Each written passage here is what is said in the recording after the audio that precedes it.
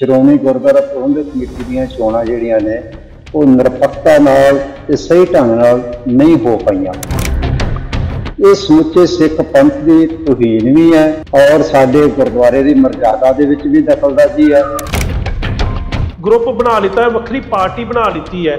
ਕਿਵੇਂ ਦੇਖਦੇ ਹੋ ਇਸ ਗੱਲ ਨੂੰ? ਬੀਬੀ ਜਗੀਰ ਕੌਰ ਦਾ ਸ਼੍ਰੋਮਣੀ ਅਕਾਲੀ ਦਲ ਦੇ ਬਾਦਲ ਦੇ ਨਾਲੋਂ ਅਲੱਗ ਹੋਣਾ। ਇਲੈਕਸ਼ਨ ਦੀ ਜ਼ਰੂਰਤ ਕਿਉਂ ਪੈਂਦੀ ਹੈ? ਰਾਜਾ ਰਾਜ ਕਰਦਾ ਸੀ, ਫਿਰ ਪੁੱਤਰ, ਫਿਰ ਪੋਤਰਾ। ਇਹ ਅਸਲ 'ਚ ਸਿਸਟਮ ਜਿਹੜਾ ਹੈ, ਉਹ ਇਹ ਤੋੜਨ ਦੀ ਲੋੜ ਹੈ। ਪਰ ਕੀ ਇਹਨੇ ਕਦੇ ਇੱਕ ਮਤਾ ਕੋਈ ਪਾਇਆ ਕਿ ਸ਼੍ਰੋਮਣੀ ਗੁਰਦੁਆਰਾ ਪ੍ਰਬੰਧਕ ਕਮੇਟੀ ਦੀ ਇਲੈਕਸ਼ਨ 5 ਸਾਲਾਂ ਬਾਅਦ ਕਿਉਂ ਨਹੀਂ ਹੁੰਦੀ? ਇਹ ਜ਼ਿੰਮੇਵਾਰੀਆਂ ਇਹਨਾਂ ਦੀਆਂ ਨੇ ਆਪਣੀਆਂ ਜ਼ਿੰਮੇਵਾਰੀਆਂ ਤੋਂ ਭੱਜੇ ਆ। ਵੋਟ ਦੇ ਮਾਮਲੇ 'ਚ ਅੱਗੇ ਨਹੀਂ, ਵੋਟ ਦੇ ਮਾਮਲੇ 'ਚ ਪੰਥ ਇਹਨਾਂ ਨੂੰ ਬੜੇ ਚਿਰ ਦਾ ਬਦਲਣਾ ਚਾਹੁੰਦਾ। ਜਿਹੜੇ ਬੰਦੇ ਬਦਲਾਵ ਦੇ ਹੱਕ ਵਿੱਚ ਨੇ, ਬਦਲਣਾ ਚਾਹੁੰਦੇ ਆ। ਉਹਨਾਂ ਦੀ ਏਕਤਾ ਜ਼ਰੂਰੀ ਆ। ਲੋਕਾਂ ਨੇ ਇਸ ਵਾਰੀ ਮਨ ਬਣਾ ਲਿਆ ਕਿ ਜਿਵੇਂ ਪੰਜਾਬ 'ਚ ਪਹਿਲਾ ਬਦਲਾਵ ਲਿਆਂਦਾ ਇਸੇ ਤਰ੍ਹਾਂ ਹੀ ਇੱਥੇ ਵੀ ਬਦਲਾਵ ਲਿਆਉਣਾ। ਤੇ ਜੇ ਸਧਾਰਨ ਬੰਦੇ ਨੇ, ਸਧਾਰਨ ਲੋਕ ਨੇ, ਤੇ ਇਹਨਾਂ ਦੀਆਂ ਗਲਤੀਆਂ ਤਾਂ ਹੁੰਦੀਆਂ ਨੇ। ਉਹਨਾਂ ਗਲਤੀਆਂ ਬਾਰੇ ਇਹਨਾਂ ਨੇ ਅੱਜ ਤੱਕ ਕੀਤਾ ਕੀ ਆ? ਵਿਆਖਿਆ ਇਹਨਾਂ ਦੀ ਕੀ ਆ? ਜੇ ਗੋਤ ਗੋਲਕ ਨੂੰ ਲੱਗਿਆ ਇਹ ਕਹਿੰਦੇ ਜੀ ਹਾਂ, ਸਾਡੀ ਜ਼ਿੰਮੇਵਾਰੀ ਹੈ ਕੌਮ ਤੇ ਕਰੀ ਜਾਂਦੀ ਵਿਚਾਰੀ। ਸਵਾਲ ਇਹ ਹੈ ਕਿ ਜਿਹੜੇ ਮੁਖੀ ਨੇ, ਉਹ ਕੀ ਕਰ ਰਹੇ ਨੇ? ਗੱਲਾਂ ਬੋਲ ਕੀਤੇ ਨਹੀਂ ਗੱਲਾਂ ਨਹੀਂ ਬਣਨੀਆਂ ਗੱਲਾਂ ਤਾਂ ਸਾਫ਼ ਕਰਨੀਆਂ ਪੈਣੀਆਂ ਵਾਹਿਗੁਰੂ ਜੀ ਕਾ ਖਾਲਸਾ ਵਾਹਿਗੁਰੂ ਜੀ ਕੀ ਫਤਿਹ। ਅਕਾਲ ਚੈਨਲ ਦੇਖਣ ਵਾਲੀਆਂ ਸਾਰੀਆਂ ਸੰਗਤਾਂ ਦਾ ਸਵਾਗਤ ਕਰਦੇ ਹਾਂ। ਸਾਧ ਸੰਗਤ ਜੀ ਜਿਵੇਂ ਕਿ ਆਪ ਜੀ ਨੂੰ ਪਤਾ ਹੀ ਹੈ ਜਦੋਂ ਗੱਲ ਆਪਾਂ ਪੰਥ ਦੀ ਗੱਲ ਕਰਦੇ ਹਾਂ ਤਾਂ ਪੰਥ ਦੇ ਵਿੱਚ ਇੱਕ ਬਹੁਤ ਵੱਡਾ ਮੁੱਦਾ ਵੈ। ਜਿਹੜਾ ਬਣਾਇਆ ਗਿਆ ਵਾ, ਆਪਾਂ ਕਹਿ ਲਓ ਸਰਕਾਰਾਂ ਦੁਆਰਾ, ਮੌਕੇ-ਮੌਕੇ ਦੀਆਂ ਜਿਹੜੀਆਂ ਸਰਕਾਰਾਂ ਆਈਆਂ ਉਹਨਾਂ ਦੁਆਰਾ, ਮਸਲਾ ਹੈਗਾ ਵਾ ਸ਼੍ਰੋਮਣੀ ਗੁਰਦੁਆਰਾ ਪ੍ਰਬੰਧਕ ਕਮੇਟੀ ਦੀਆਂ ਚੋਣਾਂ ਨੂੰ ਲੈ ਕੇ। ਇਹ ਗੱਲ ਆਪਾਂ ਨੂੰ ਪਤਾ ਹੀ ਹੈ ਕਿ ਜਿਹੜੀਆਂ ਸਰਕਾਰਾਂ ਨੇ ਕਦੀ ਵੀ ਇਹ ਚੋਣਾਂ ਸਮੇਂ ਸਿਰ ਨਹੀਂ ਕਰਵਾਈਆਂ। ਜੇ ਇਸ ਵੇਲੇ ਦੀ ਵੀ ਆਪਾਂ ਚੋਣਾਂ ਦੀ ਗੱਲ ਕਰੀਏ ਤਾਂ 2011 ਤੋਂ ਬਾਅਦ ਜਿਹੜੀਆਂ ਨੇ ਚੋਣਾਂ ਨਹੀਂ ਹੋਈਆਂ, ਕਿਸੇ ਵੇਲੇ ਇਸ ਦੇ ਵਿੱਚ ਕੋਈ ਤਕਨੀਕੀ ਕਾਰਨ ਗੱਲ ਕਰ ਦਿੱਤੇ ਗਏ, ਕਿਸੇ ਵੇਲੇ ਵਿੱਚ ਨਿਆਂਪਾਲਕਾ ਨੂੰ ਵਿਸ਼ਾ ਬਣਾ ਲਿੱਤਾ ਗਿਆ। ਹੋਰ ਵੀ ਬਹੁਤ ਸਾਰੇ ਕਾਰਨ ਬਣਾ ਕੇ ਜਿਹੜੀਆਂ ਸਰਕਾਰਾਂ ਨੇ ਚੋਣਾਂ ਨੂੰ ਸਮੇਂ ਸਿਰ ਨਹੀਂ ਕਰਵਾਇਆ ਜਾ ਰਿਹਾ ਸਰਕਾਰਾਂ ਦੁਆਰਾ। ਹੁਣ ਪਿਛਲੇ ਦਿਨਾਂ ਦੇ ਵਿੱਚ ਇੱਕ ਹਲਚਲ ਮੱਚੀ ਹੈ ਕਿ ਡਿਪਟੀ ਕਮਿਸ਼ਨਰ ਨੇ ਜਿਹੜੇ ਉਹਨਾਂ ਨੂੰ ਇੱਕ ਹਦਾਇਤ ਜਾਰੀ ਕੀਤੀ ਗਈ ਹੈ ਕਿ ਤੁਸੀਂ ਜਿਹੜੀਆਂ ਸ਼੍ਰੋਮਣੀ ਗੁਰਦੁਆਰਾ ਪ੍ਰਬੰਧਕ ਕਮੇਟੀ ਦੀਆਂ ਚੋਣਾਂ ਦੀਆਂ ਲਿਸਟਾਂ ਜਾਂ ਜਿਹੜੀਆਂ ਨਵੀਆਂ ਵੋਟਾਂ ਨੇ ਉਹਨਾਂ ਨੂੰ ਤਿਆਰ ਕਰੋ, ਤਾਂ ਜਿਹਦੇ ਤੋਂ ਇੱਕ ਸੰਕੇਤ ਮਿਲਦਾ ਪਿਆ ਹੈ ਕਿ ਜਿਹੜੀਆਂ ਚੋਣਾਂ ਨੇ ਉਹ ਜਲਦ ਹੀ ਹੋ ਸਕਦੀਆਂ ਨੇ। ਪਰ ਸਿਰਫ ਚੋ- ਜਿਹੜੀਆਂ ਨੇ ਚੋਣ ਲਿਸਟਾਂ ਜਾਂ ਵੋਟਰ ਲਿਸਟਾਂ ਬਣ ਜਾਣੀਆਂ, ਜਿਹਨੂੰ ਅਸੀਂ ਇਹ ਨਹੀਂ ਸਿੱਧੇ ਤੌਰ ਦੇ ਉੱਪਰ ਕਹਿ ਸਕਦੇ ਕਿ ਜਿਹੜੀਆਂ ਚੋਣਾਂ ਹੋਣਗੀਆਂ ਹੀ ਹੋਣਗੀਆਂ। ਪਰ ਇੱਕ ਆਸ ਹੈ ਜਾਂ ਜਿਵੇਂ ਦਾ ਇੱਕ ਸਟੇਟ ਦਾ ਰਵੱਈਆ ਲੱਗਦਾ ਪਿਆ ਹੈ, ਤਾਂ ਇਹ ਗੱਲ ਇੱਕ ਅੰਦਾਜ਼ਾ ਲਗਾਇਆ ਜਾ ਰਿਹਾ ਕਿ ਆਉਣ ਵਾਲੇ ਸਮੇਂ ਦੇ ਵਿੱਚ ਜਲਦ ਹੀ ਜਿਹੜੀਆਂ ਨੇ ਚੋਣਾਂ ਹੋਣ ਜਾ ਰਹੀਆਂ ਨੇ। ਵੱਖ-ਵੱਖ ਪਾਰਟੀਆਂ ਦੀਆਂ, ਵੱਖ-ਵੱਖ ਸੰਸਥਾਵਾਂ ਦੀਆਂ ਇਹਨਾਂ ਚੋਣਾਂ ਦੇ ਬਾਰੇ ਕੀ ਆਪਣੇ ਨਿਗਾਹ ਨੁਕਤੇ ਨੇ? ਉਹ ਵੀ ਦੇਖਣ ਦੀ ਜ਼ਰੂਰਤ ਹੈ, ਕਿਹੜੇ ਇਹਨਾਂ ਚੋਣਾਂ ਦੇ ਵਿੱਚ ਮੁੱਦੇ ਹੋਣ ਦੀ ਸੰਭਾਵਨਾ ਹੈ ਕਿਹੜੇ ਮੁੱਦਿਆਂ ਦੇ ਉੱਪਰ ਚੋਣਾਂ ਲੜੀਆਂ ਜਾ ਸਕਦੀਆਂ ਨੇ, ਕਿਉਂਕਿ ਇਸ ਵੇਲੇ ਜਿਹੜੇ ਨੇ ਕੁਝ ਹਾਲਾਤ ਚੇਂਜ ਹੋ ਚੁੱਕੇ ਨੇ। ਤਾਂ ਗੱਲਬਾਤ ਕਰਾਂਗੇ ਆਪਾਂ ਜਿਹੜੇ ਭਾਈ ਮੋਹਕਮ ਸਿੰਘ ਜੀ ਨੇ ਉਹਨਾਂ ਦੇ ਨਾਲ, ਕਿਉਂਕਿ ਉਹ ਵੀ ਪੰਥਕ ਧਿਰਾਂ ਦੇ ਵਿੱਚ ਆਪਣਾ ਇੱਕ ਮਹੱਤਵਪੂਰਨ ਜਿਹੜੀ ਹੈ ਭੂਮਿਕਾ ਅਦਾ ਕਰਦੇ ਨੇ, ਮਹੱਤਵਪੂਰਨ ਉਹਨਾਂ ਦਾ ਸਥਾਨ ਹੈ। ਪਿਛਲੀ ਵਾਰੀ ਚੋਣਾਂ ਵੀ ਉਹਨਾਂ ਨੇ 2011 ਦੇ ਵਿੱਚ ਲੜੀਆਂ ਸੀ। ਤਾਂ ਇਸ ਵਾਰੀ ਉਹਨਾਂ ਦੀ ਕੀ ਰਣਨੀਤੀ ਹੈ ਜੋ ਇਹਨਾਂ ਚੋਣਾਂ ਨੂੰ ਕਿਵੇਂ ਦੇਖਦੇ ਨੇ? ਹੋਰ ਵੀ ਜਿਹੜੇ ਪੱਖ ਨੇ ਉਹਨਾਂ ਦੇ ਬਾਰੇ ਵੀ ਆਪਾਂ ਜਿਹੜੀ ਹੈ ਗੱਲਬਾਤ ਕਰਦੇ ਹਾਂ। ਸਭ ਤੋਂ ਪਹਿਲਾਂ ਭਾਈ ਸਾਹਿਬ ਦਾ ਸਵਾਗਤ ਕਰਦੇ ਹਾਂ। ਭਾਈ ਸਾਹਿਬ ਬਹੁਤ ਬਹੁਤ ਸਵਾਗਤ ਹੈ ਜੀ। ਵਾਹਿਗੁਰੂ ਜੀ ਕਾ ਖਾਲਸਾ ਵਾਹਿਗੁਰੂ ਜੀ ਕੀ ਫਤਿਹ। ਵਾਹਿਗੁਰੂ ਜੀ ਕਾ ਖਾਲਸਾ ਵਾਹਿਗੁਰੂ ਜੀ ਕੀ ਫਤਿਹ। ਬਹੁਤ ਬਹੁਤ ਧੰਨਵਾਦ ਜੀ। ਹਾਂਜੀ। ਜੀ ਭਾਈ ਸਾਹਿਬ ਪੰਜਾਬ ਦੇ ਵਿੱਚ ਜੇ ਆਪਾਂ ਇੰਡੀਅਨ ਸਟੇਟ ਦੇ ਵਿੱਚ ਗੱਲ ਕਰੀਏ ਤਾਂ ਚੋਣਾਂ ਨੂੰ ਲੈ ਕੇ ਜਿਹੜੀਆਂ ਸਰਗਰਮੀਆਂ ਨੇ, ਤੇਜ਼ ਹੁੰਦੀਆਂ ਦਿਖਾਈ ਦੇ ਰਹੀਆਂ ਨੇ। ਕਿਉਂਕਿ ਜਿਹੜੇ ਜ਼ਿਲ੍ਹਿਆਂ ਦੇ ਡੀਸੀ ਸਹਿਬਾਨ ਨੇ, ਉਹਨਾਂ ਨੂੰ ਇੱਕ ਆਦੇਸ਼ ਜਾਰੀ ਕਰ ਦਿੱਤਾ ਹੈ ਸਰਕਾਰ ਦੁਆਰਾ ਜਾਂ ਸੰਬੰਧਿਤ ਅਥਾਰਟੀ ਦੁਆਰਾ ਕਿ ਜਿਹੜੀਆਂ ਨਵੀਆਂ ਵੋਟਾਂ ਨੇ, ਉਹਨਾਂ ਨੂੰ ਬਣਾਇਆ ਜਾਵੇ, ਜਿਹੜੀਆਂ ਨੇ ਵੋਟਰ ਲਿਸਟਾਂ ਨੇ, ਉਹਨਾਂ ਦੇ ਉੱਪਰ ਜਿਹੜਾ ਕੰਮ ਕੀਤਾ ਜਾਵੇ। ਕਿਵੇਂ ਦੇਖਦੇ ਹੋ ਇਸ ਸਾਰੀ ਜਿਹੜੀ ਗੱਲਬਾਤ ਜਾਂ ਜੋ ਵੀ ਹੁਣ ਕਾਰਵਾਈ ਸ਼ੁਰੂ ਕਰ ਦਿੱਤੀ ਗਈ ਹੈ ਸਰਕਾਰ ਤੇ ਅਥਾਰਟੀ ਦੇ ਦੁਆਰਾ? ਦੇਖੋ ਜੀ ਇੰਡੀਆ ਜਿਹੜਾ ਹੈ ਉਹ ਇੱਕ ਡੈਮੋਕ੍ਰੈਟਿਕ ਦੇਸ਼ ਹੈ ਇਸ ਦੇ। ਵਿੱਚ ਸ਼੍ਰੋਮਣੀ ਗੁਰਦੁਆਰਾ ਪ੍ਰਬੰਧਕ ਕਮੇਟੀ ਜਦ ਬਣੀ 1925 ਵਿੱਚ ਸੰਵਿਧਾਨਕ ਰੂਪ ਤੇ ਤਾਂ ਉਸ ਸਮੇਂ ਇਹਦੀ ਜਿਹੜੀ ਮਨਿਆਦ ਸੀ ਉਹ ਇਲੈਕਸ਼ਨ ਦੀ ਰੱਖੀ ਗਈ ਸੀ 47 ਜੀ। ਤੱਕ ਇਹ ਠੀਕ ਚੱਲਦੀ ਰਹੀ ਪਰ ਉਸ ਤੋਂ ਬਾਅਦ ਕੁਝ ਸਮਾਂ ਠੀਕ ਚੱਲੀ ਉਸ ਤੋਂ ਬਾਅਦ ਇਹ ਬਦਲਦੀ ਰਹੀ ਕਦੇ ਕਿੰਨੇ ਸਾਲ ਲੰਘੇ ਕਦੇ ਫਿਰ ਲੰਘੇ ਕਦੇ ਬਹੁਤ ਬਹੁਤ ਜ਼ਿਆਦਾ ਲੰਘੇ। ਇੱਕ ਵਾਰੀ ਤਾਂ ਐਸਾ ਵੀ ਆਇਆ ਕਿ ਬਹੁਤ ਸਾਰੇ ਮੈਂਬਰ ਚੜ੍ਹਾਈ ਕਰ ਗਏ ਤੇ ਅੱਧੋ ਘੱਟ ਰਹਿ ਗਏ ਸਨ। ਹੁਣ ਜੀ। ਵੀ ਪੋਜੀਸ਼ਨ ਜਿਹੜੀ ਹੈ ਕਿ ਕੋਈ ਸਹੀ ਟਾਈਮ ਦੇ ਉੱਤੇ ਇਲੈਕਸ਼ਨ ਨਹੀਂ ਕਰਵਾਈ ਜਾਂਦੀ। ਆਹ ਇਲੈਕਸ਼ਨ ਵੀ ਜਿਹੜੀ ਹੈ ਇਹਨੂੰ ਵੀ 12ਵਾਂ ਸਾਲ ਹੋ ਗਿਆ। ਔਰ ਅੱਗੇ ਸੋਗਾ 23 ਸਾਲ ਲੱਗਣਾ ਹੈ 13ਵਾਂ ਸਾਲ। ਜਿਹੜਾ ਕਿ ਇੱਕ ਬਿਲਕੁਲ ਬੇਨਿਆਈ ਹੈ ਕਾਨੂੰਨ ਦੀ ਵੀ ਅਲੱਗਿਆ ਅਵਗਿਆ ਔਰ ਸਿੱਖਾਂ ਦੀਆਂ ਭਾਵਨਾਵਾਂ ਨੂੰ ਵੀ ਠੇਸ ਪਹੁੰਚਾਉਂਦੀ ਹੈ। ਤੇ ਦੁਖਾਂਤ ਇਹ ਹੈ ਕਿ ਜਿਹੜੀ ਧਿਰ ਕਾਬਜ ਉੱਥੇ ਬੈਠੀ ਹੋਈ ਕਹਿ ਲਓ ਜਾਂ ਸੇਵਾਦਾਰੀ ਕਰ ਰਹੀ ਹੈ, ਪ੍ਰਬੰਧ ਚਲਾ ਰਹੀ ਹੈ, ਉਹਦੇ ਕਦੇ ਯਤਨ ਨਹੀਂ ਕੀਤਾ ਲੰਬੇ ਸਮੇਂ ਤੋਂ, ਪਿਛਲੇ ਸਮਿਆਂ ਤੋਂ ਕਿ ਸਹੀ ਟਾਈਮ ਤੇ ਇਹ ਇਲੈਕਸ਼ਨਾਂ ਹੋ ਜਾਣ। ਕਿਉਂਕਿ ਉਹ ਆਪਣੀ ਗਣੀ, ਗਿਣੀ ਮਿਥੀ ਸਾਜ਼ਿਸ਼ ਦੇ ਤਹਿਤ ਚੱਲਦੇ ਰਹਿੰਦੇ ਨੇ ਕਿ ਅਸੀਂ ਕਦੋਂ ਪੋਜੀਸ਼ਨ 'ਚ ਹੋਵਾਂਗੇ, ਕਦੋਂ ਅਸੀਂ ਇਲੈਕਸ਼ਨ ਕਰਾਉਣੀ ਹੈ ਕਦੋਂ ਅਸੀਂ ਜਿੱਤਣ ਦੇ ਜਾਂ ਨੇੜੇ ਤੇੜੇ ਜਾ ਸਕਦੇ ਆ ਇਹ ਉਹਨਾਂ ਦੀਆਂ ਇੱਕ ਭਾਵਨਾਵਾਂ ਰਹੀਆਂ ਨੇ, ਜਿਸ ਕਰਕੇ ਕਦੇ ਵੀ ਸ਼੍ਰੋਮਣੀ ਗੁਰਦੁਆਰਾ ਪ੍ਰਬੰਧਕ ਕਮੇਟੀ ਦੀਆਂ ਚੋਣਾਂ ਜਿਹੜੀਆਂ ਨੇ, ਉਹ ਨਿਰਪੱਖਤਾ ਨਾਲ ਤੇ ਸਹੀ ਢੰਗ ਨਾਲ ਨਹੀਂ ਹੋ ਪਾਈਆਂ। ਹੁਣ ਵੀ ਉਹਨਾਂ ਨੇ ਬਹੁਤ ਲੰਮਾ ਸਮਾਂ ਇਸ ਤਰ੍ਹਾਂ ਹੀ ਟਪਾ ਦਿੱਤਾ। ਕੁਝ ਉਹਨਾਂ ਦੇ ਆਪਣਾ ਸ਼ਾਸਨ ਜਾਂ ਇਸੇ ਤਰ੍ਹਾਂ ਦਿੱਲੀ ਵਾਲਿਆਂ ਨਾਲ ਉਹਨਾਂ ਦੇ ਸੰਬੰਧਤ ਰਿਲੇਸ਼ਨ ਜਿਹੜੇ ਸਨ, ਉਹ ਸਾਰਾ ਕੁਝ ਜਿਹੜਾ ਸੀ ਉਹ ਮਿਲਾ ਕੇ ਜਾਂ ਇਹਨਾਂ ਨਾਲ ਸੰਬੰਧਿਤ ਕਈ ਐਸੇ ਵਿਅਕਤੀ, ਕੋਈ ਅਫਸਰਸ਼ਾਹੀ ਜਾਂ ਇਸੇ ਤਰੀਕੇ ਨਾਲ ਉੱਥੇ ਦਿੱਲੀ 'ਚ ਬੈਠੇ ਹੋਏ ਵੱਡੇ ਲੋਕ, ਉਹਨਾਂ ਦੇ ਰਾਹੀਂ ਇਹ, ਇਸ ਤਰ੍ਹਾਂ ਦਾ ਯਤਨ ਕਰਦੇ ਰਹਿੰਦੇ ਆ। ਇਹ ਸਮੁੱਚੇ ਸਿੱਖ ਪੰਥ ਦੀ ਤੋਹੀਨ ਵੀ ਹੈ ਔਰ ਸਾਡੇ ਗੁਰਦੁਆਰੇ ਦੀ ਮਰਜ਼ਾਦਾ ਦੇ ਵਿੱਚ ਵੀ ਦਖਲਦਾਜ਼ੀ ਹੈ ਔਰ ਸਾਡੇ ਪ੍ਰਚਾਰ, ਪ੍ਰਸਾਰ ਤੇ ਹੋਰ ਜਿਹੜੇ ਮਾਧਿਅਮ ਨੇ, ਉਹਨਾਂ ਦਾ ਵੀ ਇਹਦੇ ਨਾਲ ਨੁਕਸਾਨ ਹੁੰਦਾ। ਮੈਂ ਸਮਝਦਾ ਭਾਈ ਕਿ ਸਾਹਿਬ, ਇਲੈਕਸ਼ਨ ਪੰਜ ਸਾਲਾਂ ਵਿੱਚ। ਹਰ ਹਾਲਤ ਵਿੱਚ ਹੋਣੀ ਚਾਹੀਦੀ ਹੈ। ਮੇਰਾ ਮਤਲਬ ਕਿ ਜਿਹੜੇ ਆਦਮੀ ਸਹੀ ਟਾਈਮ ਦੇ ਉੱਤੇ ਆਪਦੀ ਇਲੈਕਸ਼ਨ ਨਹੀਂ ਵੋਟ ਨਹੀਂ ਪਾ ਸਕੇ ਕਈ ਤੇ ਸੰਸਾਰ ਵਿੱਚੋਂ ਚਲੇ ਗਏ ਹੋਣਗੇ ਆਪਣੀਆਂ ਭਾਵਨਾਵਾਂ ਲੈ ਕੇ ਲੰਬੇ ਸਮੇਂ ਵਿੱਚ। ਕਈ ਜਿਹੜੇ ਨੌਜਵਾਨ ਬੱਚੇ ਸੀ ਉਹਨਾਂ ਨੇ ਅੱਜ ਤੋਂ 5-7 ਸਾਲ ਪਹਿਲਾਂ ਵੋਟਾਂ ਪਾਉਣੀਆਂ ਸੀ ਉਹਨਾਂ ਨੂੰ ਅੱਜ ਤੱਕ ਵੀ ਇਹ ਆਪਣਾ ਭਾਵਨਾਵਾਂ ਦਾ ਪ੍ਰਗਟਾਵਾ ਕਰਨ ਦਾ ਮੌਕਾ ਨਹੀਂ ਦਿੱਤਾ ਗਿਆ। ਇਹ ਕਿੰਨੀ ਬੇਨਿਆਈ ਹੈ ਤੇ ਬੇਨਿਜਮੀ ਹੈ। ਇਹ ਨਹੀਂ ਹੋਣੀ ਚਾਹੀਦੀ। ਜੀ। ਜੀ, ਭਾਈ ਸਾਹਿਬ ਐਰ ਕੀ ਆਪਾਂ ਗੱਲ ਕਰੀਏ, ਜੇ ਚੋਣਾਂ ਦਾ ਐਲਾਨ ਨਹੀਂ ਹੋਇਆ, ਸੰਵਿ- ਆਪਾਂ ਕਹਿ ਲਓ ਕਿ ਕਾਨੂੰਨੀ ਤੌਰ ਦੇ ਉੱਪਰ, ਸੰਵਿਧਾਨਿਕ ਤੌਰ ਦੇ ਉੱਪਰ। ਪਰ ਇਹਨਾਂ ਚੋਣਾਂ ਦੇ ਵਿੱਚ ਇੱਕ ਜਿਹੜੀ ਵੱਡੀ ਗੱਲ ਦੇਖਣ ਨੂੰ ਆ ਰਹੀ ਹੈ ਕਿ ਜਿਹੜੀ ਕਾਬਜ ਧਿਰ ਦੇ ਵੱਲੋਂ ਪ੍ਰਧਾਨ ਰਹੇ ਬੀਬੀ ਜਗੀਰ ਕੌਰ, ਉਹ ਕਾਬਜ ਧਿਰ ਨਾਲੋਂ ਅਲੱਗ ਹੋ ਗਏ ਨੇ। ਉਹਨਾਂ ਨੇ ਆਪਣਾ ਇੱਕ ਕਹਿ ਲਓ ਵੱਖਰਾ ਗਰੁੱਪ ਬਣਾ ਲਿੱਤਾ ਹੈ, ਵੱਖਰੀ ਪਾਰਟੀ ਬਣਾ ਲਿੱਤੀ ਹੈ। ਕਿਵੇਂ ਦੇਖਦੇ ਹੋ ਇਸ ਗੱਲ ਨੂੰ? ਬੀਬੀ ਜਗੀਰ ਕੌਰ ਦਾ ਸ਼੍ਰੋਮਣੀ ਅਕਾਲੀ ਦਲ ਦੇ ਬਾਦਲ ਦੇ ਨਾਲੋਂ ਅਲੱਗ ਹੋਣਾ। ਦੇਖੋ ਜੀ ਬੀਬੀ ਜੀ ਦਾ ਜ਼ਿਕਰ ਤਾਂ ਇਸ ਤੋਂ ਬਾਅਦ ਵਿੱਚ ਆਏਗਾ। ਉਸ ਤੋਂ ਪਹਿਲਾਂ ਜਿਹੜੀ ਮੁੱਢਲੀਆਂ ਗੱਲਾਂ ਨੇ ਉਹ ਸਾਨੂੰ ਘੋਖਣੀਆਂ ਤੇ ਵਾਚਣ ਦੀ ਜ਼ਰੂਰਤ ਹੈ। ਇਲੈਕਸ਼ਨ। ਕਿਉਂ ਕਰਾਉਂਦੇ ਆ? ਇਲੈਕਸ਼ਨ ਕਿਉਂ ਹੁੰਦੀ ਹੈ ਇਲੈਕਸ਼ਨ ਦੀ ਜ਼ਰੂਰਤ ਕਿਉਂ ਪੈਂਦੀ ਹੈ ਜੇ ਜ਼ਰੂਰਤ ਨਾ ਪਵੇ ਨਾ ਹੁੰਦੀਆਂ ਹੋਣ ਤਾਂ ਫਿਰ ਤਾਂ ਜਿਵੇਂ ਪੁਰਾਣੇ ਜ਼ਮਾਨਿਆਂ 'ਚ ਇੱਕ ਪੁਰਖੀ ਰਾਜ ਹੁੰਦੇ ਸਨ। ਰਾਜਾ ਰਾਜ ਕਰਦਾ ਸੀ ਫਿਰ ਪੁੱਤਰ ਫਿਰ ਪੋਤਰਾ। ਇਹ ਅਸਲ 'ਚ ਸਿਸਟਮ ਜਿਹੜਾ ਹੈ, ਉਹ ਉਹ ਤੋੜਨ ਦੀ ਲੋੜ ਹੈ। ਦੂਸਰੀ ਗੱਲ ਇਹ ਹੈ ਕਿ ਇਲੈਕਸ਼ਨ ਅਸੀਂ ਇਸ ਵਾਸਤੇ ਕਰਵਾਉਣੀਆਂ ਚਾਹੁੰਦੇ ਆ ਜਾਂ ਸਮਾਜ ਕਰਾਉਣਾ ਚਾਹੁੰਦਾ ਹੈ ਕਿ ਸਮੇਂ ਮੁਤਾਬਕ ਜੇ ਕੋਈ ਗਲਤ ਗੱਲਾਂ ਹੋਈਆਂ ਨੇ ਤੇ ਉਹਨਾਂ ਦਾ ਅਗਾਂਹ ਨਵਾਂ ਪ੍ਰਬੰਧ ਲਿਆ ਕੇ ਨਵੇਂ ਢੰਗ ਦੇ ਨਾਲ ਉਹਨਾਂ ਨੂੰ ਸੁਧਾਰਿਆ ਜਾ ਸਕੇ। ਅੱਜ ਦੀ ਡੇਟ ਵਿੱਚ ਬਹੁਤ ਸਾਰੀਆਂ ਗੱਲਾਂ ਨੇ ਜਿਨ੍ਹਾਂ ਦੇ ਉੱਤੇ ਇਹ ਲੱਛਣ ਹੋਣੀ ਹੈ ਸਵਾਲ ਇੱਥੇ ਜਗੀਰ ਕੌਰ ਦਾ ਜਾਂ ਮੋਹਕਮ ਸਿੰਘ ਦਾ ਜਾਂ ਇਸੇ ਤਰੀਕੇ ਨਾਲ ਬਾਦਲ ਦਾ ਜਾਂ ਕਿਸੇ ਹੋਰ ਨਹੀਂ ਹੈ ਸਵਾਲ ਹੈ ਕਿ ਬਦਲਾਵ ਦਾ। ਜੇ। ਬਦਲਾਵ ਨਹੀਂ ਆਉਂਦਾ ਤੇ ਇਲੈਕਸ਼ਨ ਫਿਰ ਕਾਹਦੇ ਲਈ ਕਰਾਉਣੀ? ਫਿਰ ਜਿਹੜੇ ਬੈਠੇ ਨੇ ਉਹਨਾਂ ਨੂੰ ਬੈਠੇ ਰਹਿਣ ਦਿਓ। ਜੇ ਇਲੈਕਸ਼ਨ ਕਰਾਉਣੀ ਹੈ ਤੇ ਉਹਦਾ ਮਕਸਦ ਇੱਕੋ ਇੱਕ ਹੈ ਕਿ ਬਦਲਾਵ ਲਿਆਉਣਾ। ਕੀ ਹੋਣਾ ਬਦਲਾਵ ਵਿੱਚ? ਔਰ ਕਈ ਕਾਰਨ ਨੇ। ਪਹਿਲੀ ਗੱਲ ਤਾਂ ਹਰੇਕ ਨੂੰ ਵੋਟ ਪਾਉਣ ਦਾ ਅਧਿਕਾਰ ਮਿਲਣਾ। ਉਹਦੇ ਸਹੀ ਤਰ੍ਹਾਂ ਉਹਦੇ ਹੱਕਾਂ ਦੀ ਰਾਖੀ ਕਰਨੀ ਜ਼ਰੂਰੀ ਹੈ। ਦੂਜੀ ਗੱਲ ਕਿ ਇੰਨੇ ਲੰਬੇ ਸਮੇਂ ਬਾਅਦ ਇਹ ਹੋਰ ਹਰ ਗੱਲ ਲਈ ਸ਼੍ਰੋਮਣੀ ਕਮੇਟੀ ਜਿਹੜੀ ਆ ਉਹ ਯਤਨ ਕਰਦੀ ਹੈ ਜਾਂ ਆਪਣੇ ਹੱਕਾਂ ਦੀ ਜਾਂ ਹੋਰ ਇਹੋ ਜਿਹੇ ਜਿਹੜੇ ਕੋਈ ਬੈਨੀਫਿਟ ਜਾਂ ਕਿਸੇ ਪਾਰਟੀ ਨੂੰ ਲਾਭ ਦੇਣਾ, ਇਹ ਗੱਲਾਂ ਤਾਂ ਸੋਚਦੀ ਆ। ਪਰ ਕੀ ਇਹਨੇ ਕਦੇ ਇੱਕ ਮਤਾ ਕੋਈ ਪਾਇਆ ਕਿ ਸ਼੍ਰੋਮਣੀ ਗੁਰਦੁਆਰਾ ਪ੍ਰਬੰਧਕ ਕਮੇਟੀ ਦੀ ਇਲੈਕਸ਼ਨ 5 ਸਾਲਾਂ ਬਾਅਦ ਕਿਉਂ ਨਹੀਂ ਹੁੰਦੀ? ਕਦੇ ਜਾ ਕੇ ਵਫਦ ਮਿਲਿਆ ਦਿੱਲੀ ਵਾਲਿਆਂ ਨੂੰ ਵੀ ਕਿਉਂ ਨਹੀਂ ਹੋ ਰਹੀ? ਕੀ ਕਿਤੇ ਗੁਰਦੁਆਰਾ ਚੋਣ ਕਮਿਸ਼ਨ ਨੂੰ ਮਿਲਿਆ ਕਿ ਇਲੈਕਸ਼ਨ ਕਿਉਂ ਨਹੀਂ ਹੋ ਰਹੀ? ਕੀ ਜਿਹੜੇ ਅਦਾਲਤਾਂ ਵਿੱਚ ਇਹ ਕਹਿ ਸਕਦੇ ਆ ਕਿ ਅਸੀਂ ਮਤਲਬ ਕਿ ਇਲੈਕਸ਼ਨ ਕਿਉਂ ਨਹੀਂ ਹੋ ਰਹੀ, ਕਿਉਂ ਨਹੀਂ ਸਰਕਾਰਾਂ ਨੇ ਅਜੇ ਤੱਕ ਕਰਾਈ? ਇਹ ਜ਼ਿੰਮੇਵਾਰੀਆਂ ਇਹਨਾਂ ਦੀਆਂ ਨੇ ਆਪਣੀਆਂ ਜ਼ਿੰਮੇਵਾਰੀਆਂ ਤੋਂ ਭੱਜੇ ਆ। ਲੋੜ ਇਹ ਨਹੀਂ ਗੀ ਕਿ ਜਗੀਰ ਕੌਰ ਆ ਰਹੀ ਹੈ ਤੇ ਕੌਣ ਆ ਰਿਹਾ? ਕਿ ਮੋਹਕਮ ਸਿੰਘ ਆ ਰਿਹਾ ਜਾਂ ਕੋਈ ਬਾਦਲ ਆ ਰਿਹਾ ਜਾਂ ਕੋਈ ਮਾਨ ਸਾਹਿਬ ਆ ਰਿਹਾ ਜਾਂ ਹੋਰ ਕੋਈ ਵਿਅਕਤੀ ਆ ਰਿਹਾ? ਸਵਾਲ ਇਹ ਹੈ ਕਿ ਬਦਲਾਵ ਦੀ ਲੱਛਣ ਹੈ। ਬਦਲਾਵ ਲੈਣਾ ਜ਼ਰੂਰੀ ਹੈ। ਬਦਲਾਵ ਕਿੱਦਾਂ ਆਏਗਾ? ਬਦਲਾਵ ਵਿੱਚ ਦੇਖੋ ਕਾਰਨ ਕੀ ਨੇ।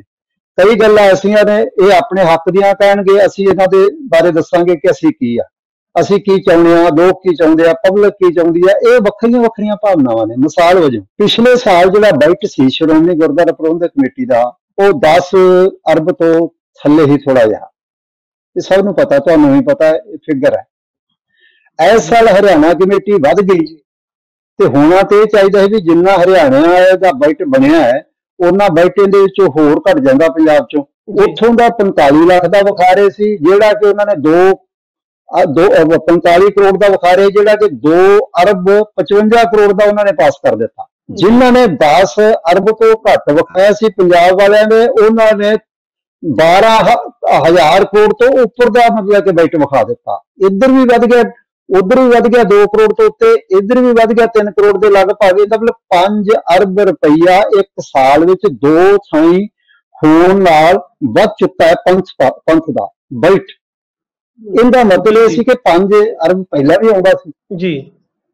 ਪਹਿਲਾਂ ਵੀ ਆਉਂਦਾ ਸੀ ਤੇ ਅੱਜ ਵੀ ਮਤਲਬ ਕਿ ਉਹ 5 ਅਰਬ ਰੁਪਈਆ ਜਿਹੜਾ ਹੈ ਉਹ ਕਿੱਥੋਂ ਆਉਂਦਾ ਸੀ ਕਿੱਥੋਂ ਹੁਣ ਆਉਣਾ ਤੇ ਕਿੱਧਰ ਪਹਿਲਾਂ ਨਹੀਂ ਸੀ ਆ ਰਿਹਾ। ਇਹ ਮਸਲੇ ਨੇ ਸਾਡੇ। ਦੋ 228 ਸਰੂਪਾਂ ਦਾ ਮਸਲਾ ਸਾਡੇ ਸਾਹਮਣੇ ਹੈ। ਸਾਡੇ ਸਾਹਮਣੇ 328 ਸਰੂਪ। ਸਿੱਖੀ ਦੇ ਪ੍ਰਚਾਰ ਪ੍ਰਸਾਰ ਦਾ ਮਸਲਾ ਹੈ। ਸਾਡੇ ਸਾਹਮਣੇ ਇੱਕ ਹੋਰ ਸਮੱਸਿਆ ਬੜੀ ਵੱਡੀ ਹੈ ਕਿ ਜਿਹੜਾ 84 ਵਾਲਾ ਕੇਸ ਸੀ ਉਹਦੇ ਇੰਨੇ 40 ਸਾਲ ਬੀਤਣ ਲੱਗਿਆ ਇਹਨਾਂ ਨੇ ਉਸ ਕੇਸ ਦਾ ਕੀਤਾ ਕੀ ਹੈ ਇੱਕ ਨੰਬਰ 3 ਉੱਥੇ ਸਿੱਖ ਪੰਥ ਦੀਆਂ ਕਿਹੜੀਆਂ ਵਸਤੂਆਂ ਸੀ ਜਿਹੜੀਆਂ ਲੈ ਕੇ ਗਏ ਸੀ? ਕਿਹੜੀਆਂ ਉਹ ਵਾਪਸ ਆਈਆਂ ਨੇ? ਕਿੰਨੀਆਂ ਘੱਟ ਆਈਆਂ ਨੇ? ਜੇ ਉਹਨਾਂ ਨੂੰ ਲੈਣ ਲੱਗਿਆ ਉਹ ਕਹਿ ਰਹੇ ਕਿ ਅਸੀਂ ਦੇਤੇ ਦਸਤਖਤ ਕਰਵਾਏ ਆ। ਅੱਛਾ ਜੇ ਦਸਤਖਤ ਕਰਵਾਇਆ ਤੇ ਜਿਨ੍ਹਾਂ ਦਸਤਖਤ ਕੀਤੇ ਉਹਨਾਂ ਤੇ ਉਹ ਕਨਫਰਮ ਕਰਨ ਸਮਾਨ ਦੇਣ ਸਾਨੂੰ ਪੂਰਾ। ਜੇ ਉਹ ਸਮਾਨ ਨਹੀਂ ਦਿੰਦੇ ਤੇ ਉਹਨਾਂ ਦੇ ਉੱਤੇ ਐਫ ਆਈ ਆਰ ਦਰਜ ਕਰਾ ਕੇ ਚਾਹੇ ਉਹ ਸ਼੍ਰੋਮਣੀ ਕਮੇਟੀ ਦਾ ਕੋਈ ਅਹ, ਅਧਿਕਾਰੀ ਹੋਵੇ ਚਾਹੇ ਉਹ ਮੈਂਬਰ ਹੋਣ ਜਾਂ ਉਹਨਾਂ ਦੇ ਹੋਰ ਪ੍ਰਬੰਧਕ ਹੋਣ ਉਹਨਾਂ ਦੇ ਉੱਤੇ ਕੇਸ ਰਜਿਸਟਰਡ ਕਰਾ ਕੇ ਕੇਸ ਲਾਏ ਜਾਣ। ਕਿ ਜੇ ਗਿਆ ਸਮਾਨ ਸੀ ਇੰਨਾ ਗਿਆ ਸੀ ਆਇਆ ਤੇ ਇੰਨਾ ਆਇਆ ਜੇ ਆਇਆ ਨਹੀਂ ਆਇਆ ਤੇ ਤਦ ਕੌਮ ਨੂੰ ਕਿਉਂ ਨਹੀਂ ਦੱਸਿਆ ਗਿਆ ਵੀ ਇਹ ਨਹੀਂ ਆਇਆ, ਜੇ ਆਇਆ ਹੈ, ਉਹਦੇ ਤੇ ਦਸਤਖਤ ਕੀਤੇ ਤੇ ਉਹਨਾਂ ਦੇ ਜ਼ਿੰਮੇਵਾਰ ਕੌਣ ਨੇ? ਇੱਕ, ਨੰਬਰ 3 ਮਿਸਾਲ ਵਜੋਂ ਸ਼੍ਰੋਮਣੀ ਗੁਰਦੁਆਰਾ ਪ੍ਰਬੰਧਕ ਕਮੇਟੀ ਗੁਰਦੁਆਰਿਆਂ ਦੀ ਮਾਲਕ ਨਹੀਂ ਗੀ, ਇਹ ਹੈ। ਇਹ ਉੱਥੋਂ ਦੀ ਸੇਵਾਦਾਰ ਹੈ, ਇਹਨਾਂ ਦਾ ਸੁਧਾਰ ਕਰਨਾ ਹੈ, ਇਹਨੇ ਪ੍ਰਚਾਰ ਪ੍ਰਸਾਰ ਸਿੱਖੀ ਦਾ ਕਰਨਾ, ਇਹਦੀ ਜ਼ਿੰਮੇਵਾਰੀ ਹੈ।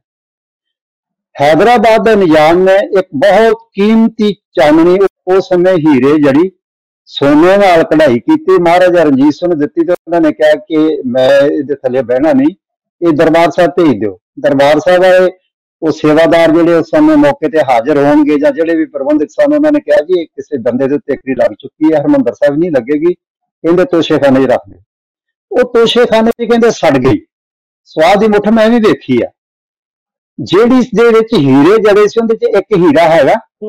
ਕਿ ਜਿਹੜੇ ਸੋਨੇ ਨਾਲ ਪੜ੍ਹਾਈ ਕੀਤੀ ਸੀ, ਉਹ ਸੋਨਾ ਹੈਗਾ ਇੱਕ ਰੱਤੀ ਸੋਨਾ ਵੀ ਹੈਗਾ ਉਹਦੇ ਵਿੱਚ, ਇੱਕ ਰੱਤੀ।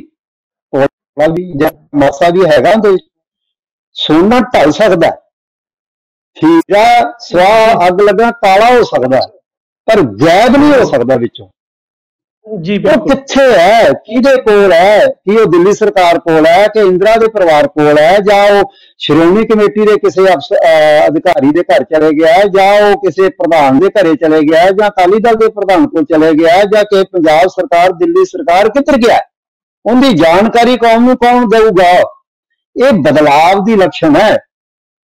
ਇਹ ਲੱਛਣ ਨਹੀਂ ਵੀ ਭਾਈ ਸਾਹਿਬ ਇੱਥੇ ਇੱਕ ਇੱਕ ਮਿੰਟ। ਮੇਰੀ ਇੱਕ ਸਵਾਲ ਜ਼ਰੂਰ ਲੈ ਲਓ ਤੁਸੀਂ ਇਹਦਾ ਜਵਾਬ ਦਿਓਗੇ ਵਿੱਚ ਹੀ।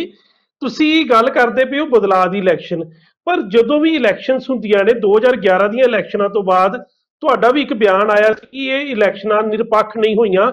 ਵੱਖ-ਵੱਖ ਧਿਰਾਂ ਦੀ ਸੀ ਉਹਨਾਂ ਕਿਹਾ ਕਿ ਇਲੈਕਸ਼ਨਾਂ ਨਿਰਪੱਖ ਨਹੀਂ ਹੋਈਆਂ। ਸਿਮਰਨਜੀਤ ਸਿੰਘ ਮਾਨ ਸਾਹਿਬ ਦਾ ਵੀ ਬਿਆਨ ਸੀ, ਉਹਨਾਂ ਦਿਨਾਂ 'ਚ ਆਇਆ। ਜਦੋਂ 2011 ਸਤੰਬਰ ਮਹੀਨੇ 'ਚ ਇਲੈਕਸ਼ਨਾਂ ਹੁੰਦੀਆਂ ਨੇ, ਉਹਦੇ ਵਿੱਚ ਇੱਕ ਇਲਜ਼ਾਮ ਲੱਗਦਾ ਵਾ ਕਿ ਜਿਹੜੀਆਂ ਬਾਦਲ ਗਰੁੱਪ ਦੇ ਉੱਪਰ ਇਹ ਇਲਜ਼ਾਮ ਲੱਗਦਾ ਹੈ ਕਿ ਉਹ ਆਪਣੇ ਚਹੇਤਿਆਂ ਦੀਆਂ ਵੋਟਾਂ ਬਣਵਾ ਲੈਂਦੇ ਨੇ। ਉਹੀ ਵੋਟਾਂ ਉਹਨਾਂ ਦੇ ਹੱਥ ਦੇ ਵਿੱਚ, ਹੱਕ 'ਚ ਭੁਗਤ ਜਾਂਦੀਆਂ ਨੇ ਤੇ ਉਹ ਜਿਹੜੇ ਆ ਕਾਬਜ ਹੋ ਜਾਂਦੇ ਨੇ। ਪਰ ਜਿਹੜੀਆਂ ਦੂਜੀਆਂ ਧਿਰਾਂ ਨੇ, ਉਹ ਜਦੋਂ ਵੋਟਾਂ ਪਾਉਂਦੀਆਂ ਨੇ, ਉਹਨਾਂ ਉਤਸ਼ਾਹ ਜਾਂ ਉਹਨਾਂ ਇੰਟਰਸਟ ਜਾਂ ਉਨੀ ਜ਼ਿੰਮੇ ਇੰਟਰਸਟ ਕਿਉਂ ਨਹੀਂ ਵਿਖਾਉਂਦੀਆਂ? ਚਲੋ ਜ਼ਿੰਮੇਵਾਰੀ ਤਾਂ ਵੈਸੇ ਵੇਖਿਆ ਜਾਵੇ, ਸਰਕਾਰਾਂ ਦੀ ਬਣਦੀ ਹੈ ਕਿ ਉਹ ਜਿਹੜੀਆਂ ਨੇ ਸਹੀ ਵੋਟਾਂ ਬਣਾਉਣ। ਪਰ ਵੋਟਾਂ ਜਿਹੜੀਆਂ ਨੇ, ਬੋਗਸ ਵੋਟਾਂ ਬਣ ਜਾਂਦੀਆਂ ਨੇ, ਉਹੀ ਵੋਟਾਂ ਉਹਨਾਂ ਨੂੰ ਭੁਗਤ ਜਾਂਦੀਆਂ ਨੇ, ਜਿਹਦੇ ਕਰਕੇ ਉਹ ਸੱਤਾ ਦੇ ਕਾਬਜ ਹੋ ਜਾਂਦੇ ਆ। ਤਾਂ ਉਸ ਪੱਖ ਨੂੰ ਜ਼ਰੂਰ ਕਰੋ ਕਿ ਉੱਥੇ ਫਿਰ ਕਿਤੇ ਨਾ ਕਿਤੇ ਕਮੀ ਕਿੰਨਾ ਦੀ ਰਹਿ ਗਈ ਸਰਕਾਰਾਂ ਦੀ ਤੇ ਦੇਖੋ ਜ਼ਿੰਮੇਵਾਰੀ ਬਣਦੀ ਹੈ ਕਿਤੇ ਨਾ ਕਿਤੇ ਲੱਗਦਾ ਨਹੀਂ ਪਿਆ ਕਿ ਕਮੀ ਦੂਜੀਆਂ ਧਿਰਾਂ ਦੇ ਵਿੱਚ ਵੀ ਹੈ ਕਿ ਉਸ ਗੱਲ ਨੂੰ ਉਸ ਵੇਲੇ ਉਠਾ ਨਹੀਂ ਪਾਉਂਦੀਆਂ ਬੇਨਤੀ ਇਸ ਤਰ੍ਹਾਂ ਹੈ ਕਿ ਪਿਛਲੀ ਸ਼੍ਰੋਮਣੀ ਗੁਰਦੁਆਰਾ ਪ੍ਰਬੰਧਕ ਕਮੇਟੀ ਦੀਆਂ ਜਿਹੜੀਆਂ ਇਲੈਕਸ਼ਨਾਂ ਹੋਈਆਂ ਨੇ ਪਿੱਛੇ ਜੀ ਜੀ 11 ਵਜੇ ਦੀ ਗੱਲ ਕਰੀਏ। ਪਿਛਲੀ ਛੱਡ ਦਿਓ ਉਦੋਂ। 11 ਦੇ ਵਿੱਚ ਆਪ ਤੁਹਾਨੂੰ ਚੰਗੀ ਤਰ੍ਹਾਂ ਜਾਣਕਾਰੀ ਹੋਏਗੀ ਕਿ ਉਸ ਸਮੇਂ ਗੁਰਦੁਆਰਾ ਚੋਣ ਕਮਿਸ਼ਨ ਨੇ ਕਿਹਾ ਕਿ ਇੰਨੀ ਵੋਟ ਬਣੀ ਹੈ। ਜੀ। ਔਰ ਇਹ ਵੋਟ ਜਿਹੜੀ ਹੈ ਇਹ ਜਿਹੜੀਆਂ ਪੰਥਕ ਲੋਕ ਨੇ ਉਹਨਾਂ ਲੋਕਾਂ ਨੇ ਆਪਣੇ ਤੌਰ ਤੇ ਬਣਾਈ ਹੈ। ਬਾਦਲ ਬਾਹਰ ਗਿਆ ਸੀ ਸੁਖਬੀਰ। ਇਹ ਆਇਆ ਇਹਨੇ 2 ਹਫ਼ਤੇ ਦੇ ਵਿੱਚ ਵਿੱਚ ਜੀ ਜੀ। ਤਕਰੀਬਨ 35 ਲੱਖ ਬੰਦੇ ਦੀ ਵੋਟ ਬਣਾਈ ਹੈ। ਰਿਕਾਰਡ ਕੱਢੋ ਜੀ ਤੁਸੀਂ। ਜੀ। ਜੀ ਦੋ ਹਫ਼ਤਿਆਂ ਵਿੱਚ 35 ਲੱਖ ਬੰਦੇ ਦੀ ਵੋਟ ਬਣ ਗਈ ਜਿਹੜੀ ਕਿ ਪਹਿਲਾਂ ਜਿਹੜੀ ਸੀ ਉਹ 5-6 ਮਹੀਨਿਆਂ ਦੀ ਨਹੀਂ ਹੋਣੀ ਬਣੀ। ਇਹਦਾ ਮਤਲਬ ਹੈ ਕਿ ਜਿਹੜੀ। ਦੋ ਹਫ਼ਤਿਆਂ 'ਚ ਬਣਾਈ ਗਈ ਕਿੱਦਾਂ ਬਣੀ? ਚਾਹੇ ਉਹ ਪਟਵਾਰੀਆਂ ਨੇ ਬਣਾਈ। ਮਾਸਟਰਾਂ ਨੇ ਬਣਾਈ ਚਾਹੇ ਇਹਨਾਂ ਦੇ ਸਰਪੰਚਾਂ ਨੇ ਮੋਹਰਾਂ ਲਾਈਆਂ ਚਾਹੇ ਇਹਨਾਂ ਦੇ ਅਧਿਕਾਰੀਆਂ ਨੇ ਲਾਈਆਂ ਗਲਤ ਢੰਗ ਇਹ ਅਪਣਾਉਂਦੇ ਆ ਵੋਟ ਦੇ ਮਾਮਲੇ 'ਚ ਅੱਗੇ ਨਹੀਂ ਵੋਟ ਦੇ ਮਾਮਲੇ 'ਚ ਪੰਥ ਇਹਨਾਂ ਨੂੰ ਬੜੇ ਚਿਰ ਦਾ ਬਦਲਣਾ ਚਾਹੁੰਦਾ। ਸਵਾਲ ਬਦਲਣ ਦਾ ਜਿਹੜਾ ਉਹ ਇਹ ਹੈ ਕਿ ਇਹ ਜਦੋਂ ਇਹਨਾਂ ਇਸ ਇਹ ਇਲੈਕਸ਼ਨ ਉਦੋਂ ਕਰਾਉਂਦੇ ਜਾਂ ਸੱਤਾ ਵਿੱਚ ਹੋਣ ਜਾਂ ਲੋਕਾਂ ਨੂੰ ਬਿਲਕੁਲ ਕਲੀਅਰ ਹੋਵੇ ਕਿ ਅੱਜ ਸੱਤਾ 'ਚ ਆ ਸਕ ਰਹੇ ਆ ਆ ਰਹੇ ਆ। ਜੀ ਜੀ। ਤੇ ਉਹ ਇਲੈਕਸ਼ਨ ਕਰਾਉਂਦੇ ਆ। ਉਹਦਾ ਉਸ ਚੀਜ਼ ਦਾ ਪ੍ਰਭਾਵ ਅਫਸਰਸ਼ਾਹੀ ਤੋਂ ਲੈ ਕੇ ਚੋਣ ਕਮਿਸ਼ਨ ਤੱਕ ਤੇ ਪਬਲਿਕ ਤੱਕ। ਇਹ ਵਰਤੋਂ ਕਰਦੇ ਆ। ਜੀ ਜੀ। ਇਹ ਇਹਨਾਂ ਦਾ ਦੁਖਾਂਤ ਹੈ ਸਭ ਤੋਂ ਵੱਡਾ। ਜੀ। ਇਸ ਕਰਕੇ। ਜ਼ਰੂਰੀ ਇਹ ਹੈ ਕਿ ਸ਼੍ਰੋਮਣੀ ਗੁਰਦੁਆਰਾ ਪ੍ਰਬੰਧਕ ਕਮੇਟੀ ਦੀਆਂ ਇਲੈਕਸ਼ਨਾਂ ਵੇਲੇ ਇਹਨਾਂ ਦੀ ਸਰਕਾਰ ਜਿਹੜੀ ਹੈ ਉਹ ਨਹੀਂ ਹੋਣੀ ਚਾਹੀਦੀ। ਕਿਉਂ? ਜਾਂ ਇਲੈਕਸ਼ਨ ਨਾ ਲੜਨ। ਜੀ। ਇਲੈਕਸ਼ਨ ਤੋਂ ਪਾਸੇ। ਹੋ ਜਾਣ। ਸ਼੍ਰੋਮਣੀ ਕਮੇਟੀ ਲੜੇ ਕੋ ਹੋਰ ਪਾਰਟੀ ਲੜੇ ਕੋ ਹੋਰ ਪ੍ਰਧਾਨ ਲੜ ਲਵੇ। ਜੇ ਇਲੈਕਸ਼ਨ ਅਕਾਲੀ ਦਲ ਨੇ ਲੜਨੀ ਹੈ ਉਹਦੀ ਸਰਕਾਰ ਵੀ ਮੌਕੇ ਤੇ ਹੋਵੇ ਦਿੱਲੀ ਵਿੱਚ ਵੀ ਉਹ ਮੰਤਰੀ ਤੇ ਜਾਂ ਉਹਦਿਆਂ ਤੇ ਬੈਠੇ ਹੋਣ ਤਾਂ ਫਿਰ ਉਹ ਇਲੈਕਸ਼ਨ ਜਿਹੜੀ ਹੈ ਉਹ ਜਿਹੜੀ ਨਹੀਂ ਹੋ ਸਕਦੀ ਸਹੀ ਢੰਗ ਨਾਲ ਅਸੀਂ ਪਿਛਲੀ ਵਾਰੀ ਇਹ ਗੱਲ ਬੜੀ ਵਜ੍ਹਾ ਤੌਰ ਤੇ ਕਹੀ ਸੀ ਵਾਰ-ਵਾਰ ਕਹੀ ਸੀ ਕਿ ਇਹ ਗਲਤ ਹੋ ਰਿਹਾ ਧੱਕੇ ਹੋ ਰਹੇ ਨੇ ਔਰ ਉਹਨਾਂ ਦੇ ਨਾਲ ਵੋਟਾਂ ਜਿਹੜੀਆਂ ਪੈ ਰਹੀਆਂ ਸੀ ਜਾਂ ਪ੍ਰਚਾਰ ਹੋ ਰਿਹਾ ਸੀ ਇਧਰ ਵੋਟਾਂ ਪੜ ਰਹੀਆਂ ਸੀ ਦੋ ਹਫ਼ਤਿਆਂ ਦੇ ਵਿੱਚ 35 ਲੱਖ ਬੰਦੇ ਦੀ ਵੋਟ ਬਣੀ ਹੈ। ਕਿਵੇਂ ਬਣ ਗਈ? ਜੀ? ਜੀ। ਜੀ ਇਹ ਦੇਖਣ ਵਾਲੀ ਗੱਲ ਹੈ ਇਹ ਜੀ, ਇਹ ਇੱਕ- ਇਹਦਾ ਮਤਲਬ ਹੈ ਸਾਰੀ ਮਸ਼ੀਨਰੀ ਇਹ ਚੀਜ਼ ਤੇ ਲਾ ਦਿੱਤੀ ਗਈ। ਜੀ ਜੀ ਜੀ। ਜੀ ਇੱਕ ਭਾਈ ਸਾਹਿਬ ਵੋਟਾਂ ਦੇ ਨਾਲ ਹੀ ਜੁੜਿਆ ਹੋਰ ਸਵਾਲ ਹੈ। ਜਦੋਂ ਆਪਾਂ ਵੋਟ ਪ੍ਰਤੀਸ਼ਤ ਦੀ ਗੱਲ ਕਰੀਏ ਤਾਂ ਪਿਛਲੀ ਵਾਰੀ ਵੀ ਆਪਾਂ ਦੇਖੀਏ ਤਾਂ ਵੋਟ ਪ੍ਰਤੀਸ਼ਤ 60% ਦੇ ਕਰੀਬ ਸੀ। ਤਾਂ ਜਿੰਨੀ ਕਿ ਮੇਰੀ ਜਾਣਕਾਰੀ ਹੈ ਅੰਮ੍ਰਿਤਸਰ ਦੇ ਵਿੱਚ ਸਭ ਤੋਂ ਘੱਟ ਵੋਟ ਵੋਟ ਪ੍ਰਤੀਸ਼ਤ ਜਿਹੜੀ ਸੀ ਕਾਸਟ ਹੋਈ ਸੀ। ਲੱਗਦਾ ਨਹੀਂ ਕਿ ਜਾਮ ਸਿੱਖ ਵੀ ਨੇ। ਉਹ ਵੀ ਇਹਨਾਂ ਵੋਟਾਂ ਦੇ ਵਿੱਚ ਇੰਨਾ ਉਤਸ਼ਾਹ ਨਹੀਂ ਦਿਖਾ ਰਹੇ, ਇੰਨਾ ਇੰਟਰਸਟ ਨਹੀਂ ਦਿਖਾ ਰਹੇ ਜਦੋਂ ਅਸੀਂ ਵੋਟ ਪ੍ਰਤੀਸ਼ਤ ਦੀ ਗੱਲ ਕਰੀਏ, ਕਿਉਂਕਿ ਇੱਕ ਪੱਖ ਵੋਟ ਪ੍ਰਤੀਸ਼ਤ ਦਾ ਵੈ, ਇੱਕ ਪੱਖ ਇਹ ਵੀ ਹੈ ਜਿਹੜੀਆਂ ਜਾਲੀ ਵੋਟਾਂ ਬਣਦੀਆਂ ਨੇ, ਜਿਹੜੇ ਇਲਜ਼ਾਮ ਸ਼੍ਰੋਮਣੀ ਜਿਹੜਾ ਅਕਾਲੀ ਦਲ ਬਾਦਲ ਦੇ ਉੱਪਰ ਲੱਗਦੇ ਨੇ। ਆਮ ਲੋਕਾਂ ਦੀ ਵੀ ਕਿਤੇ ਨਾ ਕਿਤੇ ਕਿਉਂ ਮਤਲਬ ਵਿਸ਼ਵਾਸ ਨਹੀਂ ਕਰਦੇ ਪਏ ਕਿਤੇ ਨਾ ਕਿਤੇ ਇਹਨਾਂ ਚੀਜ਼ਾਂ ਤੇ? ਦੇਖੋ, ਤੁਸੀਂ ਫਿਗਰ ਕੱਢ ਕੇ ਦੇਖੋ ਜਿਹੜੀਆਂ 96 ਦੀਆਂ ਵੋਟਾਂ ਨੇ ਉਹ ਵੋਟਾਂ ਜੀ ਜੀ। ਜਿਹੜੀਆਂ ਟੋਟਲ ਵਿਰੋਧੀ ਧਿਰ ਦੀਆਂ ਤੇ ਬਾਦਲ ਧਿਰ ਦੀਆਂ ਜਦੋਂ ਆਪਾਂ ਮਿਲਦੇ ਆ ਤਾਂ ਸਿਰਫ ਜੀ। 8% ਤੋਂ ਵੀ ਘੱਟ ਦਾ ਫ਼ਰਕ ਹੈ। ਸੱਤਾ ਦੇ ਲਾਗੇ ਹੋਣ ਕਰਕੇ 2011 ਦੀ ਔਰ ਗੱਲ ਸੱਤਾ ਕੀਤੀ ਹੋਣ ਦੇ ਸੀ। ਬਾਵਜੂਦ। ਜੀ ਜੀ। ਮੈਂ ਉਹ। ਕਹਿ ਰਿਹਾ ਜਿਹੜੀ ਦੂਸਰੀ ਹੈ ਉਹਦੇ ਤੇ 42 ਤੇ 50 ਦਾ ਫ਼ਰਕ ਹੈ 51 ਦਾ। ਜੀ। ਬਾਕੀ ਕੁਝ। ਵੋਟ ਜਿਹੜੀ ਹੈ ਉਹ ਖਰਾਬ ਹੋ ਜਾਂਦੀ ਹੈ। ਅੱਛਾ ਜਿਹੜੀ ਹੋਈ ਹੈ 11 ਵਿੱਚ ਮੈਂ ਕਾਰਾਂ ਦੀ ਗੱਲ ਕੀਤੀ ਜੀ। 11 ਦੇ ਵਿੱਚ ਜਿਹੜੀ ਹੋਈ ਹੈ ਉਹ ਇਹਨਾਂ ਨੇ ਸਰਕਾਰ ਵਿੱਚ ਜਦ ਤੁਸੀਂ ਕਹਿੰਦੇ ਮਾਝੇ ਚ ਵੋਟ ਘੱਟ ਪਈ ਹੈ। ਉੱਥੇ ਮਾਝੇ ਵਿੱਚ ਜਿਹੜੇ ਇਹਨਾਂ ਦੇ ਬੰਦੇ ਬੈਠੇ ਸੀ ਉਹ ਤਾਂ ਬਦ- ਉਹਨਾਂ ਨੇ ਬੰਦੇ ਹੀ ਕਿੰਨੇ ਬਿਠਾਲ ਦਿੱਤੇ ਸੀ? ਧੱਕੇ ਨਹੀਂ ਬਿਠਾਲ ਦਿੱਤੇ ਮੈਂਬਰਾਂ ਦੇ ਉੱਤੇ ਦਬਾਅ ਪਾ ਪਾ ਕੇ ਕੇਸ ਪਾ ਪਾ ਕੇ ਉਹਨਾਂ ਨੂੰ ਫੜ ਫੜ ਕੇ। ਤੁਸੀਂ ਦੇਖੋ ਮਾਝੇ ਵਿੱਚ ਕਿੰਨੇ ਕੈਂਡੀਡੇਟ ਬਿਠਾਏ ਗਏ ਸੀ ਤੇ ਉੱਥੇ ਵੋਟ ਦੀ ਅਹ, ਜਿਹੜੀ ਗਿਣਤੀ ਸੀ ਉਹ ਤਾਂ ਘੱਟ ਹੋਣੀ ਹੋਣੀ ਸੀ ਆਟੋਮੈਟਿਕ ਹੀ ਘੱਟ ਹੋਣੀ ਸੀ। ਕਈ ਵੋਟਾਂ ਤਾਂ ਐਸੀਆਂ ਸੀ ਜਿਹੜੇ ਇਹਨੇ ਬਿਨ ਮੁਕਾਬਲਾ ਜਿਤਾ ਲਏ ਤੇ ਵੋਟ ਦੀ ਉਹ ਗਿਣਤੀ ਦਾ ਵਧੇ ਘਟੇਗੀ ਨਾ। ਉਹ ਖਤਮ ਹੋਏਗੀ ਵਿੱਚੋਂ। ਇਹ ਮਗਰਲੀ ਵਾਰੀ ਇਹਨਾਂ ਨੇ ਇਹ ਕੁਝ ਕੀਤਾ ਹੈ ਉਹਦੇ ਚ ਮਜੀਠੀਏ ਵਰਗੇ ਬੰਦੇ ਆ, ਤਾਂ ਮਤਲਬ ਕਿ ਬੰਦਿਆਂ ਦੇ ਬੰਦੇ। ਜੀ ਜੀ। ਖੜੇ ਪਏ। ਰਾਗੀ ਰਾਮ ਸਿੰਘ ਜਿਹੜੇ ਸੀ ਉਹਦੇ ਨਾਲ ਕਿੰਨੇ ਬੰਦੇ ਜਿਹੜੇ ਇੱਕ ਦਿਨ ਹੀ ਬੈਠ ਗਏ ਸਨ। ਬਜਾਜ ਜਿਹੜਾ ਸੀ। ਆਪਣਾ ਸੋਲ ਸਰਬਜੀਤ ਸਿੰਘ ਬੈਠ ਗਿਆ ਸੀ। ਆਪਣਾ ਪਤਾ ਨਹੀਂ ਕਿਹੜੇ ਕਿਹੜੇ ਕੈਂਡੀਡੇਟ ਇਹਨਾਂ ਨੇ ਚੁੱਪ ਚਪੀਤੇ ਬਿਠਾ। ਖੜੇ ਹੋਇਆ ਬੰਦਿਆਂ ਨੂੰ। ਸਰਕਾਰੀ ਦਬਾਅ ਦੇ ਤਹਿਤ ਵੋਟ ਤਬ ਜਿਹੜੀ ਘਟੀ ਸੀ। ਗੱਲ ਇਹ ਨਹੀਂ ਹੈਗੀ ਕਿ ਮਾਝੇ ਦੀ ਵੋਟ ਘਟੀ ਕੇ ਵਧੀ ਜਾਂ ਦੂਜੇ ਘਟੀ ਕੇ ਵਧੀ। ਸਵਾਲ ਇਹ ਹੈ ਕਿ ਇਲੈਕਸ਼ਨ ਜਿਹੜੀ ਹੈ ਉਹ ਸਾਫ਼ ਸੁਥਰੀ ਨਹੀਂ ਹੁੰਦੀ। ਇਹ ਸਾਫ਼ ਸੁਥਰੀ ਹੋਣੀ ਬਹੁਤ ਜ਼ਰੂਰੀ ਹੈ। ਇਹ ਸਭ ਤੋਂ ਜ਼ਿਆਦਾ ਜ਼ਰੂਰੀ ਹੈ। ਦੂਜੀ ਗੱਲ ਹੈ ਕਿ ਇਲੈਕਸ਼ਨ ਇਸ ਲਈ ਨਹੀਂ ਲੜੀ ਜਾ ਰਹੀ ਕਿ ਬਾਦਲ ਹਟ ਜਾਏ ਤੇ ਫਲਾਣਾ ਆ ਜਾਵੇ। ਫਲਾਣਾ ਹਟ ਜਾਏ, ਫਲਾਣਾ। ਸਵਾਲ ਇਹ ਹੈ ਕਿ ਇਹ ਬਦਲਾਵ ਲਿਆਉਣਾ ਹੈ। ਦੇ ਵਿੱਚ ਇਹ ਗੱਲਾਂ ਜਿਹੜੀਆਂ ਮੈਂ ਤੁਹਾਡੇ ਨਾਲ ਪਿੱਛੇ ਕੀਤੀਆਂ ਨੇ। ਬਾਈਟ ਦੇ ਮਾਮਲੇ ਆ ਉੱਥੇ ਗੁਰੂ ਕੇ ਪ੍ਰਬੰਧ ਦੇ ਮਾਮਲੇ ਆ ਪ੍ਰਚਾਰ ਪ੍ਰਸਾਰ ਤੇ ਕੀ ਹੋਇਆ ਹੈ ਇਹ ਸਾਰੇ ਸਿਸਟਮ ਨੂੰ ਵਾਚਣ ਵਾਸਤੇ ਜ਼ਰੂਰੀ ਹੈ ਕਿ ਬਦਲਾਵ ਲਿਆਂਦਾ ਜਾਵੇ ਬਦਲ ਜਾਣ ਬੰਦੇ। ਜੀ ਜੀ। ਲੋਕ ਬਦਲਣ ਲਈ ਤਿਆਰ ਨੇ ਲੋਕ ਬਦਲਣਾ ਨਹੀਂ ਚਾਹੁੰਦੇ ਆ। ਇਹ ਫਿਰ ਕੀ ਹੁੰਦਾ ਵੀ ਇੱਕ ਦੋ ਖੇਮੇ ਬਣਾ ਲੈਂਦੇ ਕਈ ਵਾਰ। ਫਿਰ ਇੱਕ ਦੋ ਖੇਮਿਆਂ ਵਿੱਚ ਰਾਮ ਲਾ ਕੇ ਫਿਰ ਮੌਕੇ ਤੇ ਖੜੇ ਪੈਰ ਆ ਕੇ ਉਹ ਬੰਦੇ ਜਿਹੜੇ ਨੇ ਬੈਠ ਜਾਂਦੇ ਆ ਜਾਂ ਸਮਝੌਤੇ ਕਰ ਲੈਂਦੇ ਆ ਇਹ ਸਿਸਟਮ ਹੈ। ਇਸ ਵਾਰੀ ਲੋਕ ਜਿਹੜੇ ਨੇ ਹੁਣ ਜਿਵੇਂ ਜਿਵੇਂ ਜ਼ਮਾਨਾ ਬਦਲਿਆ ਟੀਵੀ ਆ ਗਏ ਆ ਮੋਬਾਈਲ ਆ ਗਏ ਆ ਜੀ, ਜੀ। ਜਿਨ੍ਹਾਂ ਵਿੱਚ ਸਾਰੀ ਚੀਜ਼ ਦੀਆਂ ਰਿਪੋਰਟਾਂ ਆ ਰਹੀਆਂ ਲੋਕ ਪੜ੍ਹ ਲਿਖ ਗਏ ਆ ਸਮਝ ਸੂਝ ਆ ਗਈ ਹੈ ਦੇਸ਼ ਵਿਦੇਸ਼ ਤੋਂ ਲੋਕਾਂ ਦੀਆਂ ਜਾਣ ਪਹਿਚਾਣ ਜਿਹੜੀ ਆ ਉਹ ਵੱਧ ਗਈ ਹੈ ਹੁਣ ਉਹ ਗੱਲਾਂ ਇਹਨਾਂ ਦੀਆਂ ਜਿਹੜੀਆਂ ਨੇ ਉਹ ਕਾਮਯਾਬ ਹੁੰਦੀਆਂ ਦਿਸਦੀਆਂ ਨਹੀਂ ਗੀਆਂ ਇਹ ਇੱਕ ਸਮੱਸਿਆ ਇਹਨਾਂ ਵਾਸਤੇ ਆਈ ਹੋਈ ਹੈ ਜਿਹੜੀ ਚ ਇਹ ਬਦਲਣਾ ਚਾਹੁੰਦੇ ਤੇ ਨਿਕਲਣਾ ਚਾਹੁੰਦੇ ਆ। ਕਦੇ ਤੁਸੀਂ ਕਦੇ ਤੁਸੀਂ ਸੁਣਿਆ ਕਿ ਅਕਾਲ ਤਖਤ ਦਾ ਜਿਹੜਾ ਸ਼੍ਰੋਮਣੀ ਕਮੇਟੀ ਦਾ ਪ੍ਰਧਾਨ ਬਣਾਇਆ ਉਹ ਕਹਿੰਦਾ ਵੀ ਇਲੈਕਸ਼ਨ ਕਰਾਓ ਸਹੀ ਸਨ ਤੇ ਕਿਉਂ ਨਹੀਂ ਹੋਈਆਂ ਬਈ? ਦਿੱਲੀ ਵਾਲੇ ਦੱਸੋ ਤੁਸੀਂ ਕਿਉਂ ਨਹੀਂ ਹੋਈਆਂ? ਪੰਜਾਬ ਵਾਲੇ ਦੱਸੋ ਕਿਉਂ ਨਹੀਂ ਹੋਈਆਂ? ਸ਼੍ਰੋਮਣੀ ਕਮੇਟੀ ਅਕਾਲੀ ਦਲ ਨੂੰ ਪੁੱਛਿਆ ਭਾਈ ਤੁਸੀਂ ਦੱਸੋ ਕਿਉਂ ਨਹੀਂ ਕਰਾਈਆਂ? ਤੁਸੀਂ ਕੌਮ ਦੇ ਉੱਤੇ ਪ੍ਰਬੰਧਕ ਸੀ ਕਾਬਜ ਸੀ ਤੁਸੀਂ ਇਹ- ਇਹਦੇ ਇਹਦੇ ਬਾਰੇ ਤੁਹਾਡਾ ਕੀ ਰੋਲ ਹੈ? ਪੁੱਛੋ। ਨਹੀਂ। ਉਹ ਵੀ ਇਹ ਹੀ ਕਹਿ ਰਹੇ ਆ ਕਿ ਏਕਤਾ ਚਾਹੀਦੀ ਆ ਇਹ ਏਕਤਾ ਏਕਤਾ ਚਾਹੀਦੀ ਹੈ ਉਸ ਚੀਜ਼ ਵਿੱਚ ਜਿੱਥੇ ਸਿੱਖਾਂ ਨੇ ਗੈਰ ਲੋਕਾਂ ਦੇ ਨਾਲ ਗੈਰ ਪਾਰਟੀਆਂ ਲੜਨਾ ਉੱਥੇ ਏਕਤਾ ਦੀ ਗੱਲ ਜਿਹੜੀ ਉਹ ਸਮਝ ਆਉਂਦੀ ਹੈ ਪਰ ਜਦੋਂ ਸਿੱਖਾਂ। ਸਿੱਖਾਂ ਦੀ ਵੋਟ ਹੋਣੀ ਹੈ ਇੱਕ ਸਿੱਖ ਨੇ ਤੇ ਬਰਾਬਰ ਦੂਜੇ ਸਿੱਖ ਨੇ ਖੜਨਾ ਉੱਥੇ ਏਕਤਾ ਦਾ ਕੀ ਮਾਮਲਾ ਜੀ।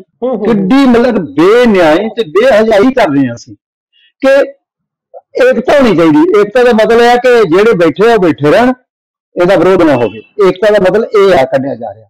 ਇਹ ਰਾਤ ਇਹ ਆ ਕਿ ਜਹੇਦਾਰ ਕਵੇ ਭਾਈ, ਕੋਈ ਗੱਲ ਨਹੀਂ, ਦੋ ਖੜ ਜਾਣ, ਚਾਰ ਖੜ ਜਾਣ, ਪੰਜ ਖੜ ਜਾਣ, ਕੋਈ ਪ੍ਰੋਬਲਮ ਨਹੀਂ ਗੀ। ਪ੍ਰੋਬਲਮ ਇਹ ਹੈ ਕਿ ਕੀ ਅਮਰਤਾਰੀ ਹੈ, ਉਹ ਮਰਜ਼ਾਦਾ ਪੂਰੀ ਕਰਦਾ ਕਿ ਉਹਨੇ ਮਤਲਬ ਕਿ ਬਾਣੀਆਂ ਨੂੰ ਯਾਦ ਨੇ, ਕਿ ਉਹ ਸਿੱਖੀ ਬਾਰੇ ਉਹਦਾ ਕੋਈ ਆਪਣਾ ਗਿਆਨ ਹੈਗਾ, ਜਾਂ ਉਹ ਪ੍ਰਸਾਰ ਪ੍ਰਸਾਰ ਬਾਰੇ ਕੀ ਸੋਚਦਾ ਜਾਂ ਕੀ ਅੱਗੇ ਲੈ ਕੇ ਜਾਏਗਾ, ਇਲਾਕੇ ਦੇ ਲੋਕ ਵੇਖਣ ਕਿ ਸਾਡੇ ਇਲਾਕੇ 'ਚ ਕਿਹੜੇ ਬੰਦੇ ਦਾ ਕੀ ਕਰਦਾਰ ਹੈ, ਕੀ ਉਹਦਾ ਸਿਸਟਮ ਹੈ, ਕੀ ਉਹਦੀਆਂ ਭਾਵਨਾਵਾਂ ਨੇ, ਉਹਦਾ ਪਰਿਵਾਰ ਕਿਸ ਤਰ੍ਹਾਂ ਦਾ ਉਹ ਆਪ ਕਿਸ ਤਰ੍ਹਾਂ ਦਾ ਉਹਦੇ ਵਡੇਰਿਆਂ ਨੇ ਕੀ ਕੁਝ ਕੀਤਾ ਹੈ ਉਹ ਇਹ ਸਾਰੀਆਂ ਗੱਲਾਂ ਲੋਕਲ ਜਿਹੜੇ ਲੋਕ ਹੈ ਜਾਣਦੇ ਹੁੰਦੇ ਆ।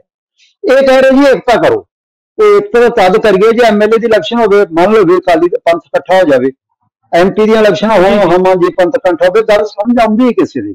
ਪਰ ਸ਼੍ਰੋਮਣੀ ਗੁਰਦੁਆਰਾ ਪ੍ਰਬੰਧਕ ਕਮੇਟੀ ਦੀ ਇਲੈਕਸ਼ਨ ਆ ਰਹੀ ਹੈ ਤੇ ਕਹਿੰਦੇ ਜੀ ਏਕਤਾ ਕਰ ਲਓ। ਇਹ ਤੇ ਆਪਣੇ ਆਪ 'ਚ ਹੀ ਇੱਕ ਮਤਲਬ ਕਿ ਇਹਦਾ ਮਤਲਬ ਕਿ ਚੋਰੀ ਹੋਣੀ ਹੈ। ਤੇ ਚੋਰੀ ਕਾਦੀ ਰੁਕ ਸਕਦੀ ਹੈ? ਚੋਰੀ ਕਾਦੀ ਛਿਪੀ ਰਹਿ ਸਕਦੀ ਜੇ ਏਕਤਾ ਹੋਏਗੀ ਤੁਹਾਡੀ ਤੇ? ਜੇ ਨਹੀਂ ਸਾਰੇ ਸਿੱਖ ਏਕਤਾ ਕਰਨਗੇ ਤੇ ਤੁਹਾਡੀਆਂ ਚੋਰੀਆਂ ਛਿਪੀਆਂ ਨਹੀਂ ਰਹਿਣਗੀਆਂ। ਮਿਸਾਲ ਵਜੋਂ। ਕਿਸੇ ਖੂਹ ਦੇ ਵਿੱਚ ਪਾਣੀ ਪਿਆ ਹੋਵੇ ਉਹ ਨਾ ਨਿਕਲੇ ਤਾਂ ਉਹਦੇ 'ਚ ਕੀ ਹੁੰਦਾ? ਉਹਦੇ ਬਦਬੂ ਆਏਗੀ। ਸਮੈਲ ਹੀ ਆਊਗੀ। ਉਹ ਪਾਣੀ ਪੀਣ ਯੋਗ ਨਹੀਂ ਰਹੂਗਾ ਬਿਮਾਰੀਆਂ ਪੈਦਾ ਕਰੇਗਾ। ਉਹਦੇ ਕੀੜੇ ਪਕੌੜੇ ਪੈ ਜਾਣਗੇ। ਜਿੱਥੇ 100 100 ਸਾਲ ਜਾਂ ਲੰਬਾ ਲੰਬਾ 20 20 30 30 ਸਾਲ ਬਦਲਾਅ ਨਾ ਆਏ ਉੱਥੇ ਕੀ ਹੋਏਗਾ? ਦੂਜੇ ਪਾਸੇ ਆਪਾਂ ਦੇਖਦੇ ਆ ਕਿ ਕਿਵੇਂ ਮਤਲਬ ਕਿ ਪੰਜਾਬ ਵਿੱਚ ਜੇ 5 ਸਾਲਾਂ ਬਾਅਦ ਇਲੈਕਸ਼ਨ ਸਰਕਾਰ ਨਾ ਬਦਲੇ ਤੇ ਕੀ ਹੁੰਦਾ? ਕਰਪਸ਼ਨ ਦੇ ਢੇਰ ਲੱਗ ਜਾਂਦੇ ਆ ਉਹ ਨਸ਼ੇ ਦਾ ਕੀ ਸਿਸਟਮ ਹੁੰਦਾ? ਉੱਥੇ ਜਿੰਨੀਆਂ ਵੀ ਬਰਾਈਆਂ ਇਤਨੀ ਗਿਣਤੀ ਗਿਣਤੀ ਕਰਾਂ, ਕਿਹੜੀ ਛੱਡਾਂ, ਉਹ ਮਤਲਬ ਇੱਕ ਛੋਟੀ ਰਹਿ ਜੇਗੀ। ਕਲਚਰ ਸਾਡਾ ਬਦਲ ਗਿਆ, ਸਮਾਨ ਸਾਡੇ ਬਦਲ ਗਏ, ਸਾਰੇ ਸਾਰੇ ਜਿਹੜੇ ਉਹ ਉਹ ਗੱਲਾਂ ਲੱਗ ਨੇ। ਇਹਦਾ ਮਤਲਬ ਇਹ ਹੈ ਕਿ ਉੱਥੇ ਵੀ ਆ, ਬਦਲਾਅ ਇਸੇ ਕਰਕੇ ਲੋਕ ਲਿਆਉਂਦੇ ਆ। ਇੱਕ ਇਸ ਵਾਰ ਆ ਨਹੀਂ ਜੀ ਇਸ ਵਾਰੀ ਇਹਨੂੰ ਬਦਲੋ ਤਾਂ ਕਿ ਸ਼ਾਨ ਥੋੜਾ ਸੁਭਾਅ ਇਸ ਵਾਰੀ ਉਹਨੂੰ ਤੀਜਾ ਰੂਪ ਦੱਸਿਆ ਯਾਰ ਇਹਨਾਂ ਦੋਨੋਂ ਬਦਲਣ ਦੀ ਸਮਰੱਥਾ ਰੱਖਦਾ ਕੋਈ ਉਹਨਾਂ ਕਾ ਦੋਵੇਂ ਬਦਲ ਦਿਓ ਤੀਜਾ ਲੈ ਆਓ। ਇਸੇ ਤਰ੍ਹਾਂ ਸ਼੍ਰੋਮਣੀ ਗੁਰਦੁਆਰਾ ਪ੍ਰਬੰਧਕ ਕਮੇਟੀ ਵਿੱਚ ਬਦਲਾਵ ਦੀ ਲੜਾਈ ਹੈ।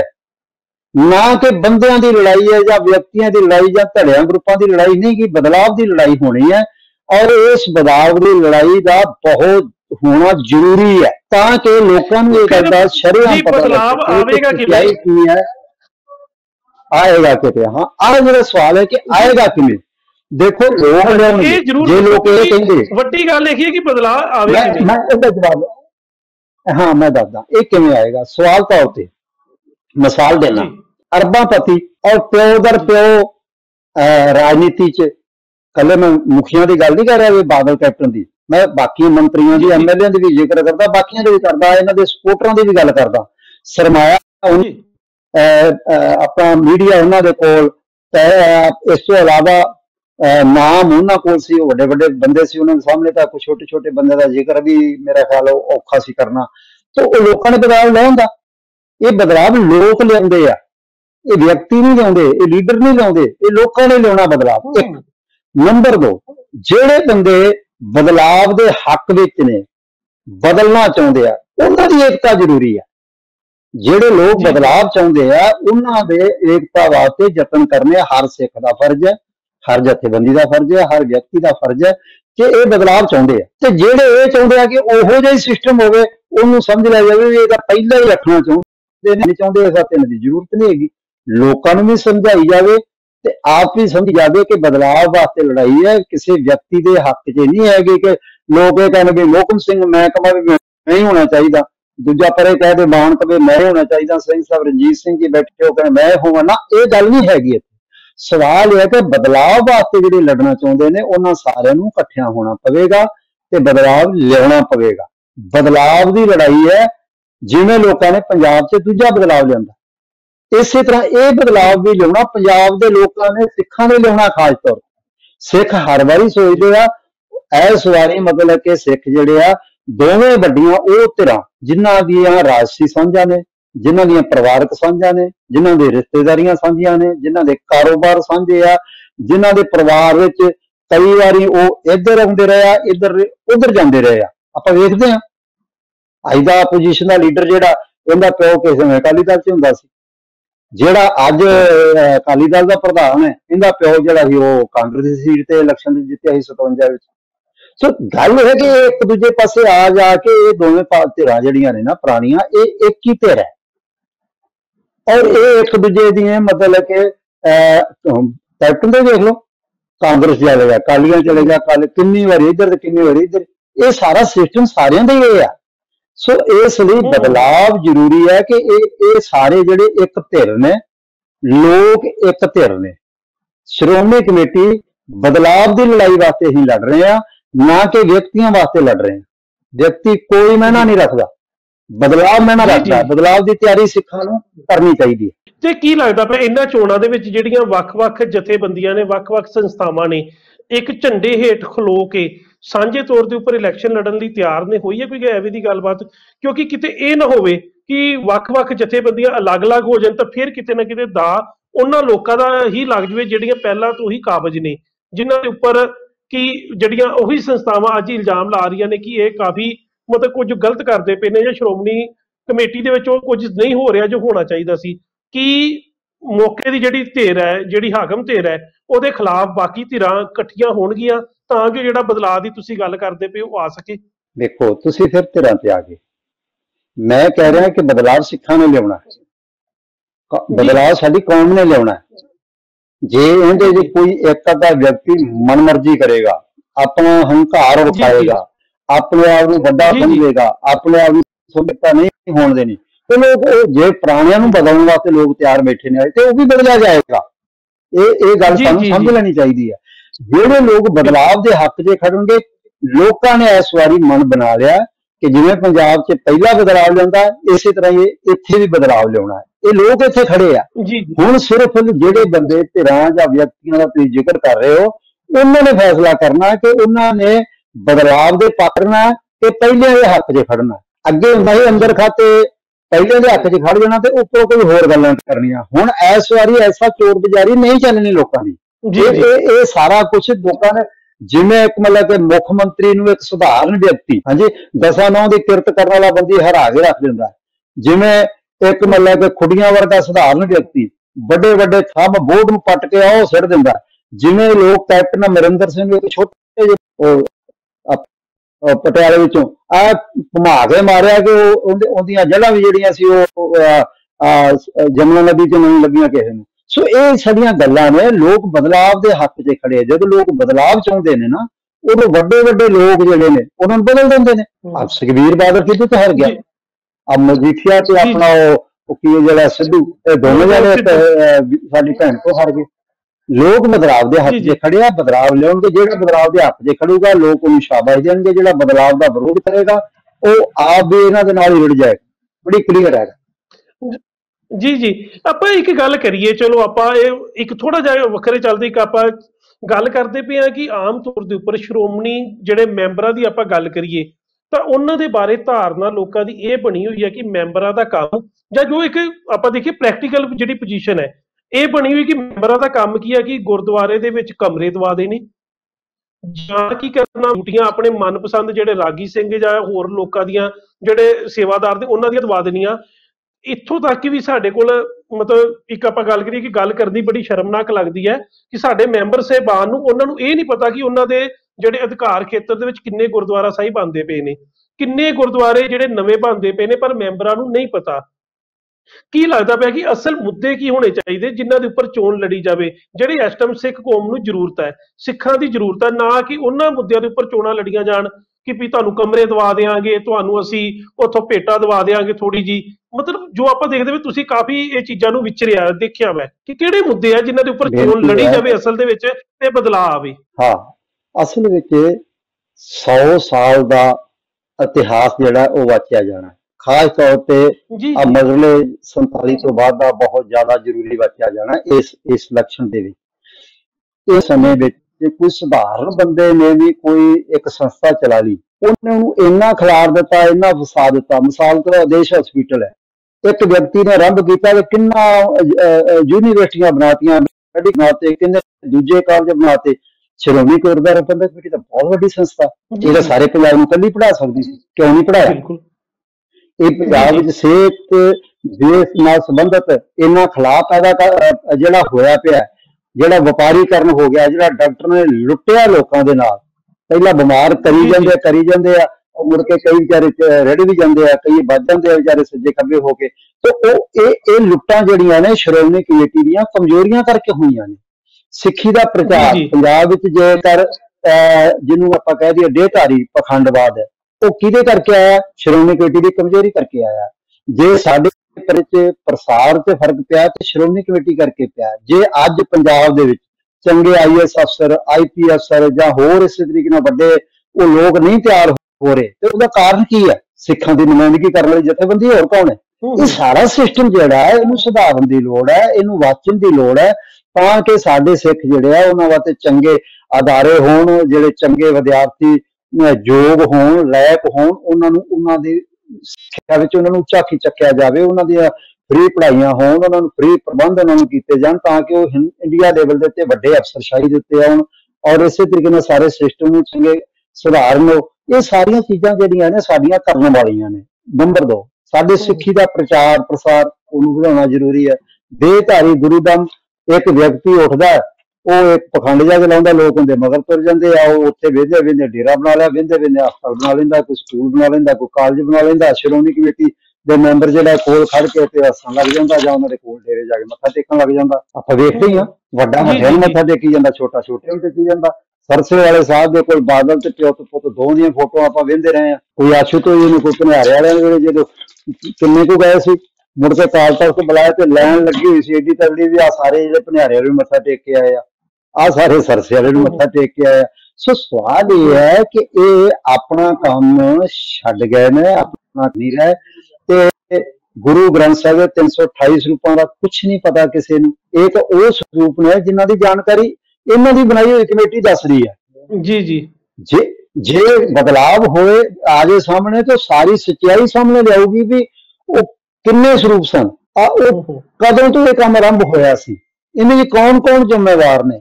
ਕਿ ਉਹਨਾਂ ਅਫਸਰਸ਼ਾਹੀ ਨੂੰ? ਉਸ ਜਿਹੜੇ ਪ੍ਰਬੰਧਕ ਸਨ ਚਾਹੇ ਸ਼੍ਰੋਮਣੀ ਕਮੇਟੀ ਦੇ ਪ੍ਰਧਾਨ ਹੋਣ ਜਾਂ ਹੋਰ ਹੋਣ ਜਾਂ ਇਸ ਤਰ੍ਹਾਂ ਜਾਂ ਸੈਕਟਰੀ ਹੋਣ ਜੋ ਵੀ ਹੋਵੇ ਕਿ ਉਹਨਾਂ ਪ੍ਰਤੀ ਕੋਈ ਅੱਜ ਤੱਕ ਕੋਈ ਕਾਰਵਾਈ ਕੋਈ ਐਫ ਆਈ ਆਰ ਕੋਈ ਕਿਸੇ ਨੂੰ ਸਜ਼ਾ? ਕਿ ਜਾਂ ਇਹ ਐਡੀ ਪਵਿੱਤਰ ਚੀਜ਼ ਹੈ ਕਿ ਇਹ ਤਾਂ ਰੱਬ ਦੇ ਸੱਚਖੰਡ 'ਚ ਵਸਣ ਵਾਲੇ ਲੋਕ ਨੇ ਇਹਨਾਂ ਤੇ ਗਲਤੀ ਕਰਦੇ ਹੀ ਨਹੀਂ ਕਿ ਜਾਂ ਤਾਂ ਫਿਰ ਇਹ ਕਹਿ ਲਓ। ਤੇ ਜੇ ਸਧਾਰਨ ਬੰਦੇ ਨੇ ਸਧਾਰਨ ਲੋਕ ਨੇ ਤੇ ਇਹਦਾ ਮਤਲਬ ਗਲਤੀਆਂ ਤਾਂ ਹੁੰਦੀਆਂ ਨੇ। ਉਹਨਾਂ ਗਲਤੀਆਂ ਬਾਰੇ ਇਹਨਾਂ ਨੇ ਅੱਜ ਤੱਕ ਕੀਤਾ ਕੀ ਹੈ ਵਿਆਖਿਆ ਇਹਨਾਂ ਦੀ ਕੀ ਹੈ ਕਿਤੇ ਅਸੀਂ ਸੋਚਦੇ ਆ ਕੈਨੇਡਾ ਦੇ ਵਿੱਚ ਸਰੂਪ ਮਹਾਰਾਜ ਸੱਚੇ ਪਾਤਸ਼ਾਹ ਦੇ ਉਹ ਇੱਕ ਸਮੁੰਦਰ ਦੇ ਬੰਦਰਗਾਹ ਦੇ ਵਿੱਚ ਪੈ ਪਏ ਉਹ ਜਿਹੜੇ ਸਲਾਬੇ ਗਏ ਆ। ਕੌਣ ਜ਼ਿੰਮੇਵਾਰ ਹੈ ਜੀ। ਜੀ ਜੀ ਜੀ। ਕੋਈ ਕਿਸੇ ਦੀ ਤਾਂ ਜ਼ਿੰਮੇਵਾਰੀ ਹੋਏਗੀ ਨਾ। ਸ਼੍ਰੋਮਣੀ ਗੁਰਦੁਆਰਾ। ਪ੍ਰਬੰਧਕ ਕਮੇਟੀ ਜਿਹੜੀ ਹੈ ਇਹ ਸਿੱਖਾਂ ਦੀ ਸੰਸਥਾ ਹੈ। ਜੇ ਗੋਲਕ ਜਨਮ ਲੱਗਿਆ ਇਹ ਕਹਿੰਦੇ ਜੀ ਹਾਂ ਸਾਡੀ ਜ਼ਿੰਮੇਵਾਰੀ ਹੈ। ਇਹ ਗੋਲ ਦੇ ਵਿੱਚ ਇਸ ਸਾਲ ਨਾਲੇ ਤਾਂ ਦੋ ਸੰਸਥਾਵਾਂ ਹੋ ਗਈਆਂ ਹਰਿਆਣਾ ਵੱਖਰੀ ਤੇ ਪੰਜਾਬ ਵੱਖਰੀ ਤੇ 5 ਅਰਬ ਦਾ ਬਜਟ ਵੀ ਵਧ ਗਿਆ। ਹੂੰ ਹੂੰ।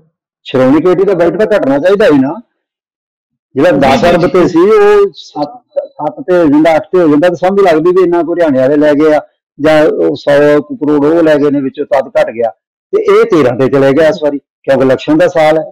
ਜੇ ਇਹ ਨਹੀਂ ਵਧਾਉਂਦੇ ਸੀ ਤੇ ਵਿਰੋਧੀ ਹਰਿਆਣੇ ਵਾਲਿਆਂ ਦਾ 45 ਕਰੋੜ ਦਾ ਬਣਾਉਂਦੇ ਸੀ ਉਹਨਾਂ ਦੋ 255 ਕਰੋੜ ਦਾ ਆਪਣਾ ਉਹਨਾਂ ਨੂੰ ਵੇਖ ਕੇ ਇਹਨਾਂ ਨੇ ਵੀ ਮਤਲਬ ਕਿ ਕਿਹਾ ਵੀ ਜਦ ਲੁੱਟ ਕਰਨੀ ਹੋਰ ਕੀ ਆ। ਜੀ ਜੀ। ਇਹੀ ਹੈ ਨਾ। ਇੱਥੇ ਇੱਥੇ ਭਾਈ ਸਾਹਿਬ ਜੀ, ਭਾਈ ਸਾਹਿਬ, ਇੱਕ ਇੱਥੇ ਮੁੱਦਾ ਹੋਰ ਵੀ ਆ। ਤੁਸੀਂ ਬੜੇ ਜਿਹੜੇ ਆ, ਵਧੀਆ ਗੱਲ, ਮਤਲਬ ਜਿਹੜੇ ਮੁੱਦੇ ਨੇ, ਜਿਹੜੇ ਉਹ ਮੁੱਦੇ ਜਿਹੜੇ ਅਸਲ 'ਚ ਆ, ਚਾਹੇ ਐਜੂਕੇਸ਼ਨ ਦੀ ਗੱਲ ਹੋਵੇ, ਚਾਹੇ ਹੈਲਥ ਦੀ ਗੱਲ ਹੋਵੇ, ਜਾਂ ਜਿਹੜੇ ਹੋਰ ਸੋਸ਼ਲ ਰਿਫਾਰਮਸ ਨੇ, ਉਹਨਾਂ ਦੀ ਗੱਲ ਕੀਤੀ ਹੈ। ਨਾਲ ਤੁਸੀਂ ਪ੍ਰਚਾਰ ਨੂੰ ਵੀ ਮੁੱਖ ਤੌਰ ਦੇ ਉੱਪਰ ਸਾਹਮਣੇ ਰੱਖਿਆ, ਕਿਉਂਕਿ ਪ੍ਰਚਾਰ ਹੋਣਾ ਵੀ ਜ਼ਰੂਰੀ ਹੈ 328 ਸਰੂਪਾਂ ਦੀ ਗੱਲ ਵੀ ਕੀਤੀ ਹੈ।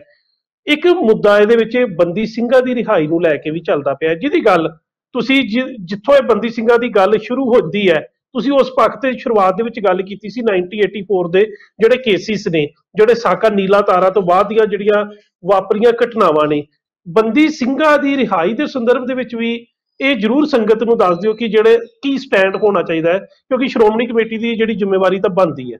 ਦੇਖੋ, ਬੇਨਤੀ ਹੈ ਕਿ ਸ਼੍ਰੋਮਣੀ ਗੁਰਦੁਆਰਾ ਪ੍ਰਬੰਧਕ ਕਮੇਟੀ ਜਿਹੜੀ ਹੈ, ਬੰਦੀ ਸਿੰਘਾਂ ਵਾਸਤੇ ਇਹੀ ਤੇ ਇੱਕ ਸਮੱਸਿਆ ਹੈ। ਕਿ ਸ਼੍ਰੋਮਣੀ। ਗੁਰਦੁਆਰਾ ਪ੍ਰਬੰਧਕ ਕਮੇਟੀ ਨੂੰ ਇਲੈਕਸ਼ਨ ਵਾਲੇ ਸਾਲ 'ਚ ਆ ਕੇ ਚੇਤਾ ਆ ਗਿਆ ਸ਼੍ਰੋਮਣੀ ਕਮੇਟੀ ਦੇ ਇਲੈਕਸ਼ਨ ਦੇ ਸਾਲ 'ਚ ਕਿ ਬੰਦੀ ਸਿੰਘ ਅੰਦਰ ਹੈਗੇ ਨੇ ਸਾਡੇ ਕੋਈ ਇਹਦੇ ਪਹਿਲੇ ਤਾਂ ਇਹ ਵੀ ਨਹੀਂ ਪਤਾ ਕਿ ਸਾਡੇ ਕੋਈ ਬੰਦੀ ਵੀ ਹੈਗੇ ਜਿਹਨਾਂ 'ਚ ਕੀ ਨਹੀਂ ਹੈਗੇ ਇਹਨੂੰ ਅਸਲ ਪਤਾ ਲੱਗ ਗਿਆ ਵੀ ਯਾਰ ਉਹ ਵੀ ਕਿਤੇ ਨਾ ਆ ਕਿਤੇ- ਤੇ ਬੰਦੀਆਂ ਦੀ ਕੋਈ ਗੱਲ ਕਰਨੀ ਤਾਂ ਉਹ ਵੀ ਉਹ ਵੀ ਕਿਤੇ ਨਾ ਕਿਤੇ ਉਦੋਂ ਗੱਲ, ਸ਼ੁਰੂ। ਹੁੰਦੀਆਂ ਨੇ ਜਦੋਂ। ਮੋਰਚਾ ਲੱਗ ਜਾਂਦਾ। ਮੁਹਾਲੀ ਦੇ ਵਿੱਚ ਮੈਂ ਮੋਹਾਲੀ 'ਚ ਵੀ ਲੱਗਾ ਇਸ ਤੋਂ ਪਹਿਲਾਂ ਬਰਗਾੜੀ ਲੱਗਾ ਹੋਰ ਵੀ ਇਹ ਜਿਹੜੀਆਂ ਸਾਰੀਆਂ ਗੱਲਾਂ। ਠੀਕ ਨੇ ਮੇਰਾ ਮਤਲਬ ਇਹ ਹੈ ਕਿ ਬੰਦੀ ਸਿੰਘਾਂ ਦੀ ਰਿਹਾਈ ਦਾ ਮਾਮਲਾ ਅਭੀ ਆਪਣੀ ਥਾਂ ਦੇ ਉੱਤੇ ਬਹੁਤ ਜ਼ਿਆਦਾ ਜ਼ਰੂਰੀ ਹੈ ਔਰ ਇਹਦੇ ਬਾਰੇ ਸਿੱਖਾਂ ਨੂੰ ਕੁਝ ਨਾ ਕੁਝ ਕਰਨਾ ਪਵੇਗਾ।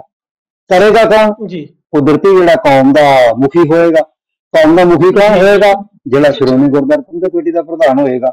ਜ਼ਿੰਮੇਵਾਰੀ ਕਿਹਦੀ ਹੈ। ਉਸ ਦੀ ਹੈ। ਦੂਜੇ ਤਾਂ ਵਿਚਾਰੇ ਸੜਕ ਤੇ ਜਾ ਕੇ ਬਹਿ ਕੇ ਜਿੰਦਾਬਾਦ ਮੁਰਦਾਬਾਦ ਹੀ ਕਰ ਸਕਦੇ ਆ ਨਾ।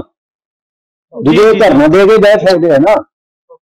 ਉਹ ਤਾਂ ਬਾਪੂ ਸੂਰ ਸਿੰਘ ਬਿਠਾਇਆ ਗੁਰਬਖਸ਼ ਸਿੰਘ ਚੜਾਈ ਕਰ ਗਿਆ ਸਾਰੇ ਕੌਮ ਤਾਂ ਕਰੀ ਜਾਂਦੀ ਵਿਚਾਰੀ। ਸਵਾਲ ਇਹ ਹੈ ਕਿ ਜਿਹੜੇ ਮੁਖੀ ਨੇ, ਉਹ ਕੀ ਕਰ ਰਹੇ ਨੇ? ਜਿਹੜੇ ਸਰਸੇ ਵਾਲੇ ਕੇਸ ਵਿੱਚ ਕਿਹਦੇ ਹੁਕਮਨਾਮਾ ਜਾਰੀ ਕਰ ਦਿਓ, ਕਿਹਦੇ ਹੁਕਮਨਾਮਾ ਵਾਪਸ ਲੈ ਲਓ, ਕਿਹਦੇ 93 ਕਰੋੜ ਦੇ 93 ਲੱਖ ਰੁਪਏ ਦੇ ਇਸ਼ਤਿਹਾਰ ਦੇ ਦਿਓ, ਫਲਾਣਾ ਕਰ ਕੌਣ ਜ਼ਿੰਮੇਵਾਰ ਹੈ? ਕਾਹਦਾ ਜਿਹੜਾ ਹੁਕਮਨਾਮਾ ਹੀ ਆਸ ਹੋਇਆ, ਉਹਦੇ ਪੈਸੇ ਪੈਸੇ ਗੁਰੂ ਕੀ ਗੋਦ ਚੋਂ ਕਿੱਦਾਂ ਚਲੇ ਗਏ ਆ? ਇਹ ਇਹਦੀ ਜਵਾਬਦੇਹੀ ਕਿਹਨੇ ਕਰਨੀ ਹੈ? ਇਹਨੇ ਲੋਕਾਂ ਨੇ ਕਰਨੀ ਹੈ। ਜਵਾਬ ਤਾਂ ਅਸੀਂ ਇਹਨਾਂ ਕੌਮ ਨੇ ਤਾਂ ਜਵਾਬ ਮੰਗਣੇ ਆ। ਤੇ ਤੁਸੀਂ ਮਤਲਬ ਤੇ ਭਾਈ ਇੰਨੇ ਸਾਲ ਸ਼੍ਰੋਮਣੀ ਕਮੇਟੀ ਨੇ ਕੀ ਕੀਤਾ ਜੀ ਇਹਨਾਂ ਬਾਰੇ, ਆਪਣੇ ਬੰਦੀ ਸਿੰਘਾਂ ਬਾਰੇ? ਕਿੱਥੇ ਰਹੇ ਤੁਸੀਂ? ਤੇ ਨਾਮ ਵੀ ਚੇਤੇ ਨਹੀਂ ਇਲੈਕਸ਼ਨ ਵਾਲੀ ਸਰਕਾਰ ਸਾਲ ਦੇ ਵਿੱਚ ਆ ਕੇ ਚੇਤਾ ਹੈ ਵੀ ਆ ਯਾਰ ਕਿਹੜੇ ਕਿਹੜੇ ਬੰਦੇ ਅੰਦਰ ਨੇ, ਪਤਾ ਕਰੋ ਯਾਰ ਲੱਭੋ ਯਾਰ। ਇਹ ਗੱਲਾਂ ਨੂੰ, ਇਸ ਤੋਂ ਇਲਾਵਾ ਵੀ ਜੇਲ੍ਹਾਂ 'ਚ ਬੈਠੇ ਆ, ਇਹ- ਜੇਲ੍ਹਾਂ ਵਾਲੀ ਵੀ ਗੱਲ ਛੱਡੋ। ਦੇਸ਼ ਵਿਦੇਸ਼ ਸਾਰਾ ਸੱਜਾ ਖੱਬਾ ਜਿਹੜਾ ਉੱਥੇ ਕੀ ਕੁਝ ਸਾਡੇ ਨਾਲ ਵਾਪਰ ਰਿਹਾ ਹੈ, ਕੀ ਕੁਝ ਹੋ ਰਿਹਾ ਹੈ, ਉਸ ਬਾਰੇ ਇਹਨਾਂ ਨੂੰ ਕੋਈ ਜਾਣਕਾਰੀ ਨਹੀਂ। ਖੇਤੀ ਦੇ ਕਾਨੂੰਨ ਜਿਹੜੇ ਆ ਕਿ ਅਕਾਲ ਤਖਤ ਸ਼੍ਰੋਮਣੀ ਕਮੇਟੀ ਨੇ ਕਿਹਾ ਕਿ ਖੇਤੀ ਦੇ ਕਾਨੂੰਨ ਜਿਹੜੇ ਆ, ਉਹਨਾਂ ਦੇ ਤੇ ਬਾਦਲ ਪਰਿਵਾਰ ਕਲੀਅਰ ਕਰੇ ਕਿ ਇਹਨਾਂ ਦੇ ਦਸਤਖਤ ਹੈਗੇ ਕਿ ਨਹੀਂ ਹੈਗੇ। ਇਹਨਾਂ ਨੇ ਉਹ ਕਾਨੂੰਨ ਜਿਹੜੇ ਤਿੰਨ ਬਣਾਉਣ ਲੱਗਾ ਉਹਦੇ ਚ ਸਹਿਮਤੀ ਦਿੱਤੀ ਕਿ ਨਹੀਂ ਦਿੱਤੀ ਦੱਸੇ। ਜੇ ਦੱਸੇ ਜੇ ਕਹਿੰਦਾ ਵੀ ਹਾਂ ਸਹਿਮਤੀ ਦਿੱਤੀ ਹੈ ਤੇ ਇਹਨਾਂ ਨੂੰ ਸਜ਼ਾ ਲਾਈ ਜਾਵੇ। ਜੇ ਨਹੀਂ ਦਸਤਖਤ ਤੇ ਫਿਰ ਕਲੀਅਰ ਕਰੇ ਕਿ ਇਹਨਾਂ ਦੇ ਉੱਤੇ ਗਲਤ ਦੋਸ਼ ਲੱਗਦਾ।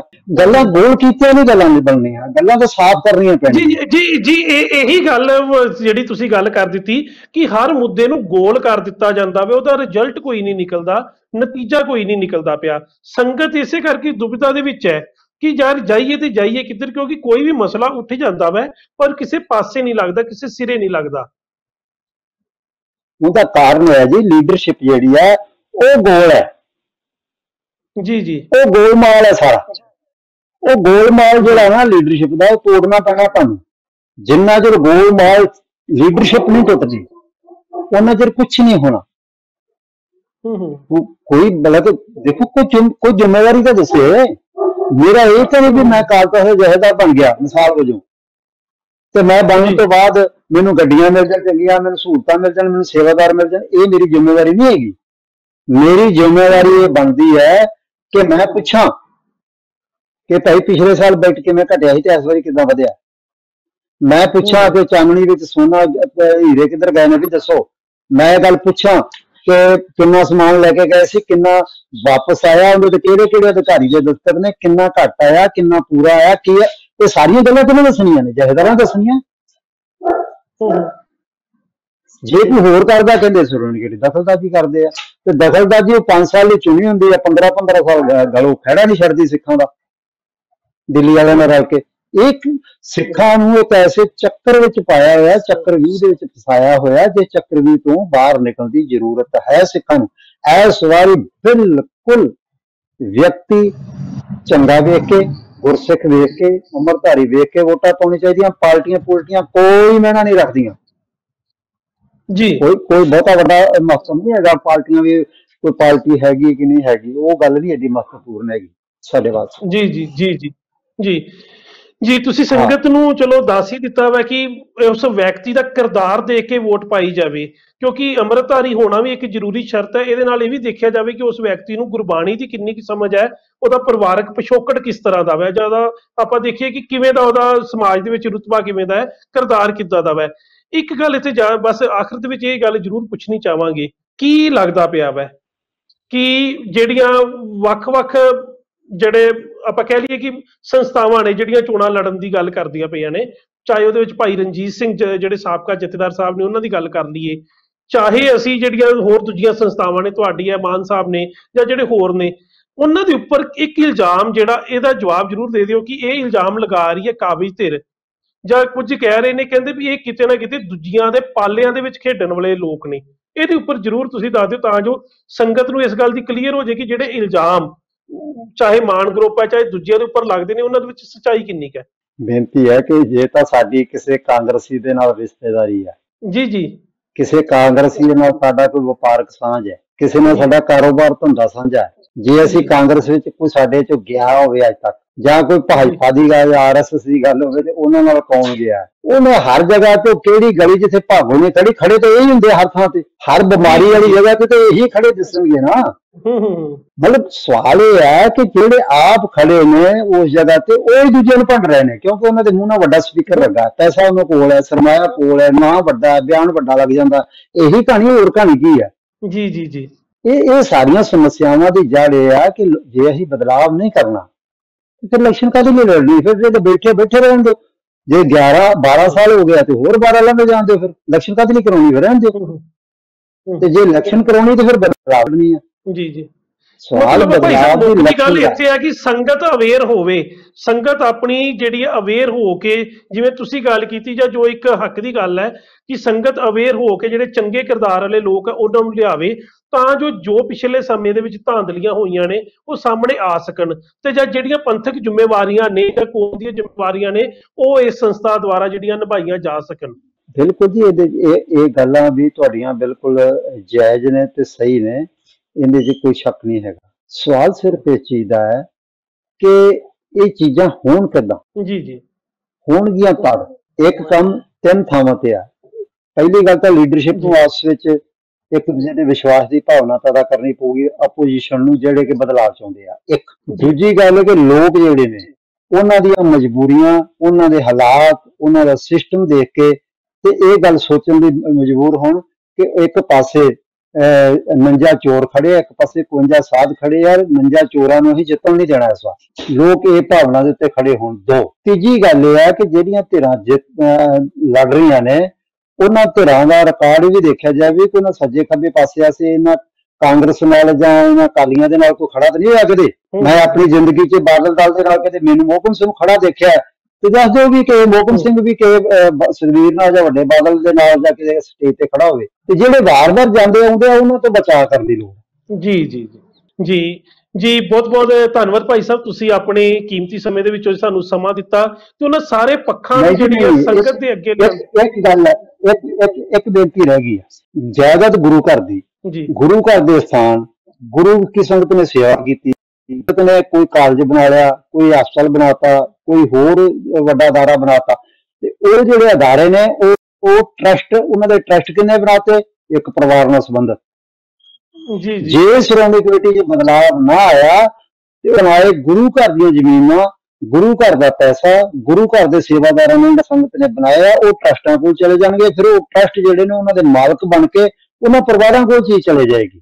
ਜੇ ਅਸੀਂ ਉਹਨਾਂ। ਪਰਿਵਾਰਾਂ ਕੋਲ ਉਹ ਵੱਡੀਆਂ ਚੀਜ਼ਾਂ ਬਣੀਆਂ ਹੋਈਆਂ ਨਹੀਂ ਜਾਣ ਦੇਣਾ ਚਾਹੁੰਦੇ ਤੇ ਜ਼ਰੂਰੀ ਹੈ ਕਿ ਬਦਲਾਅ ਕੀਤਾ ਜਾਵੇ ਕਮੇਟੀ ਬਣਨ ਤੋਂ ਬਾਅਦ ਪਹਿਲਾ ਮਤਾ ਪਾਵੇ ਕਿ ਸਾਰੇ ਟਰਸਟ ਭੰਗ ਇਹ ਗੁਰੂ ਕੀ ਸੰਗਤ ਦੀ ਚੀਜ਼ ਹੈ।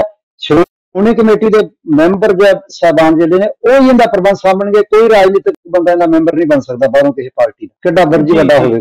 ਜੀ, ਇਹ ਜ਼ਰੂਰੀ ਨੇ ਨਹੀਂ ਤੇ ਇਹ ਤੁਸੀਂ ਵੱਡੇ ਵੱਡੇ। ਅਦਾਰੇ ਜਿਹੜੇ ਨੇ ਸਾਰੇ ਇੱਕ ਪਰਿਵਾਰ ਕੋਲ ਜਾ ਰਹੇ ਨੇ। ਇਹ ਸਾਡੀ ਜਿਹੜੀ ਜੀ, ਸਮੱਸਿਆ। ਖੜੀ ਹੈ ਕਾਨੂੰਨ ਉਹਨਾਂ ਦੇ ਹੱਕ। 'ਚ ਹੋਏਗਾ ਜੀ ਜੀ ਧੰਨਵਾਦ ਭਾਈ ਸਾਹਿਬ ਤਾਂ ਇਹ ਸਨ ਭਾਈ ਮੋਕਮ ਸਿੰਘ ਜੀ ਸਾਡੇ ਨਾਲ ਜਿਨ੍ਹਾਂ ਨੇ ਉਹਨਾਂ ਸਾਰੇ ਮੁੱਦਿਆਂ ਦੇ ਉੱਪਰ ਗੱਲ ਕੀਤੀ ਜਿਹੜੀਆਂ ਇਸ ਟਾਈਮ ਆਪਾਂ ਗੱਲ ਕਰੀ ਕਿ ਵਿਚਾਰਨ ਦੀ ਲੋੜ ਹੈ ਚਾਹੇ ਉਹਦੇ ਵਿੱਚ ਐਜੂਕੇਸ਼ਨ ਦੀ ਗੱਲ ਕਰੀਏ ਚਾਹੇ ਉਹਦੇ ਵਿੱਚ ਅਸੀਂ ਹੈਲਥ ਸਿਸਟਮ ਦੀ ਗੱਲ ਕਰੀਏ ਜਾਂ ਹੋਰ ਜਿਹੜੀਆਂ ਸਮਾਜਿਕ ਸੰਸਥਾਵਾਂ ਨੇ ਉਹਨਾਂ ਦੇ ਵਿੱਚ ਆਏ ਨਿਗਾਰ ਦੀ ਗੱਲ ਕਰੀਏ ਉਹਨਾਂ ਦੇ ਵਿੱਚ ਜਿਹੜਾ ਵਿਕਾਸ ਹੋਣਾ ਚਾਹੀਦਾ ਵਾ। ਵੱਡੀ ਗੱਲ ਇਹ ਵੀ ਸਾਹਮਣੇ ਆਈ ਕਿ ਜਿਹੜੀਆਂ ਸੰਸਥਾਵਾਂ ਨੇ, ਉਹ ਸਿੱਧੇ ਜਾਂ ਅਸਿੱਧੇ ਰੂਪ ਦੇ ਵਿੱਚ ਟਰਸਟ ਦੇ ਰੂਪ ਦੇ ਵਿੱਚ ਇੱਕ ਪਰਿਵਾਰ ਦੇ ਕੋਲ ਜਾ ਰਹੀਆਂ ਨੇ। ਉਹਦੇ ਬਾਰੇ ਵੀ ਆਪਾਂ ਸਾਰੀ ਸੰਗਤ ਜਿਹੜੀ ਆ ਭਲੀ ਭਾਂਤ ਜਾਣੂ ਆ।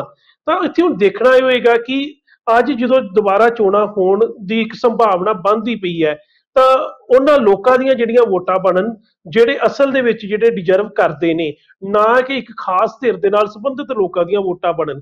ਇੱਥੇ ਜ਼ਿੰਮੇਵਾਰੀ ਕਿਤੇ ਨਾ ਕਿਤੇ ਪ੍ਰਸ਼ਾਸਨਿਕ ਅਧਿਕਾਰੀਆਂ ਦੀ ਵੀ ਬਣਦੀ ਹੈ ਕਿ ਜਿਹੜੀਆਂ ਸਹੀ ਵੋਟਾਂ ਬਣਾਈਆਂ ਜਾਣ ਤੇ ਉਹਨਾਂ ਸੰਸਥਾਵਾਂ ਦੀ ਵੀ ਬਣਦੀ ਹੈ ਜਿਹੜੀਆਂ ਸੰਸਥਾਵਾਂ ਸਿੱਖੀ ਹੱਕਾਂ ਦੀ ਗੱਲ ਕਰਦੀਆਂ ਪਈਆਂ ਨੇ ਜਾਂ ਰਿਫਾਰਮਸ ਦੀ ਜਾਂ ਜਿਹੜੀਆਂ ਬਦਲਾਅ ਦੀ ਗੱਲ ਕਰਦੀਆਂ ਪਈਆਂ ਨੇ। ਕਿਉਂਕਿ ਵੋਟ ਦੀ ਜਦੋਂ ਆਪਾਂ ਗੱਲ ਕਰੀਏ, ਇੱਥੇ ਗਿਣਤੀ ਦੇ ਉੱਪਰ ਸਾਰਾ ਕੁਝ ਡਿਪੈਂਡ ਹੁੰਦਾ ਵਾ ਕਿ ਜਿਹੜਾ ਵਿਅਕਤੀ ਜਾਂ ਜਿਹੜੀ ਤੇਰ ਜ਼ਿਆਦੀਆਂ ਵੋਟਾਂ ਲੈ ਗਈ ਜਾਂ ਜਿਹੜਾ ਉਮੀਦਵਾਰ ਜ਼ਿਆਦੀਆਂ ਵੋਟਾਂ ਲੈ ਗਿਆ, ਉਹ ਅੰਤ ਦੇ ਵਿੱਚ ਜੇਤੂ ਇੱਥੋਂ ਹੋ ਕੇ ਉਸ ਜਿਹੜੀ ਸੇਵਾ ਦੇ ਲਈ ਜਾਏਗਾ।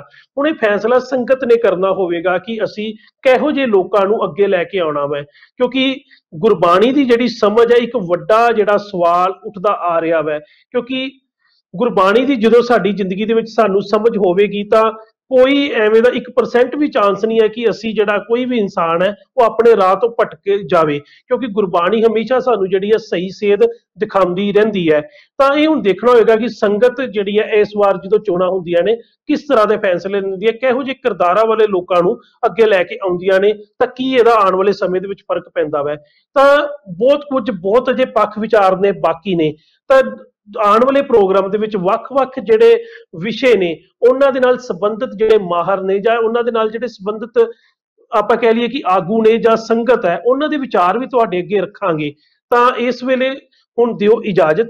ਅਗਲੇ ਪ੍ਰੋਗਰਾਮ ਦੇ ਵਿੱਚ ਕਿਸੇ ਨਵੇਂ ਜਿਹੜਾ ਪੱਖ ਹੈ, ਜਿਹੜੇ ਪੱਖ ਇਹਨਾਂ ਪ੍ਰੋ- ਇਸ ਦੇ ਪ੍ਰੋਗਰਾਮ ਦੇ ਵਿੱਚ, ਅੱਜ ਦੇ ਵਿੱਚ ਨਹੀਂ ਵਿਚਾਰੇਗੇ, ਉਹਨਾਂ ਪੱਖਾਂ ਨੂੰ ਲੈ ਕੇ ਨਵੇਂ ਜਿਹੜੇ ਆਗੂ ਨੇ, ਨਵੇਂ ਜਿਹੜੀ ਸੰਗਤ ਹੈ, ਉਹਨਾਂ ਨੂੰ ਲੈ ਕੇ ਫਿਰ ਹਾਜ਼ਰ ਹੋਵਾਂਗੇ। ਉਸ ਵੇਲੇ ਤੱਕ ਦਿਓ ਇਜਾਜ਼ਤ।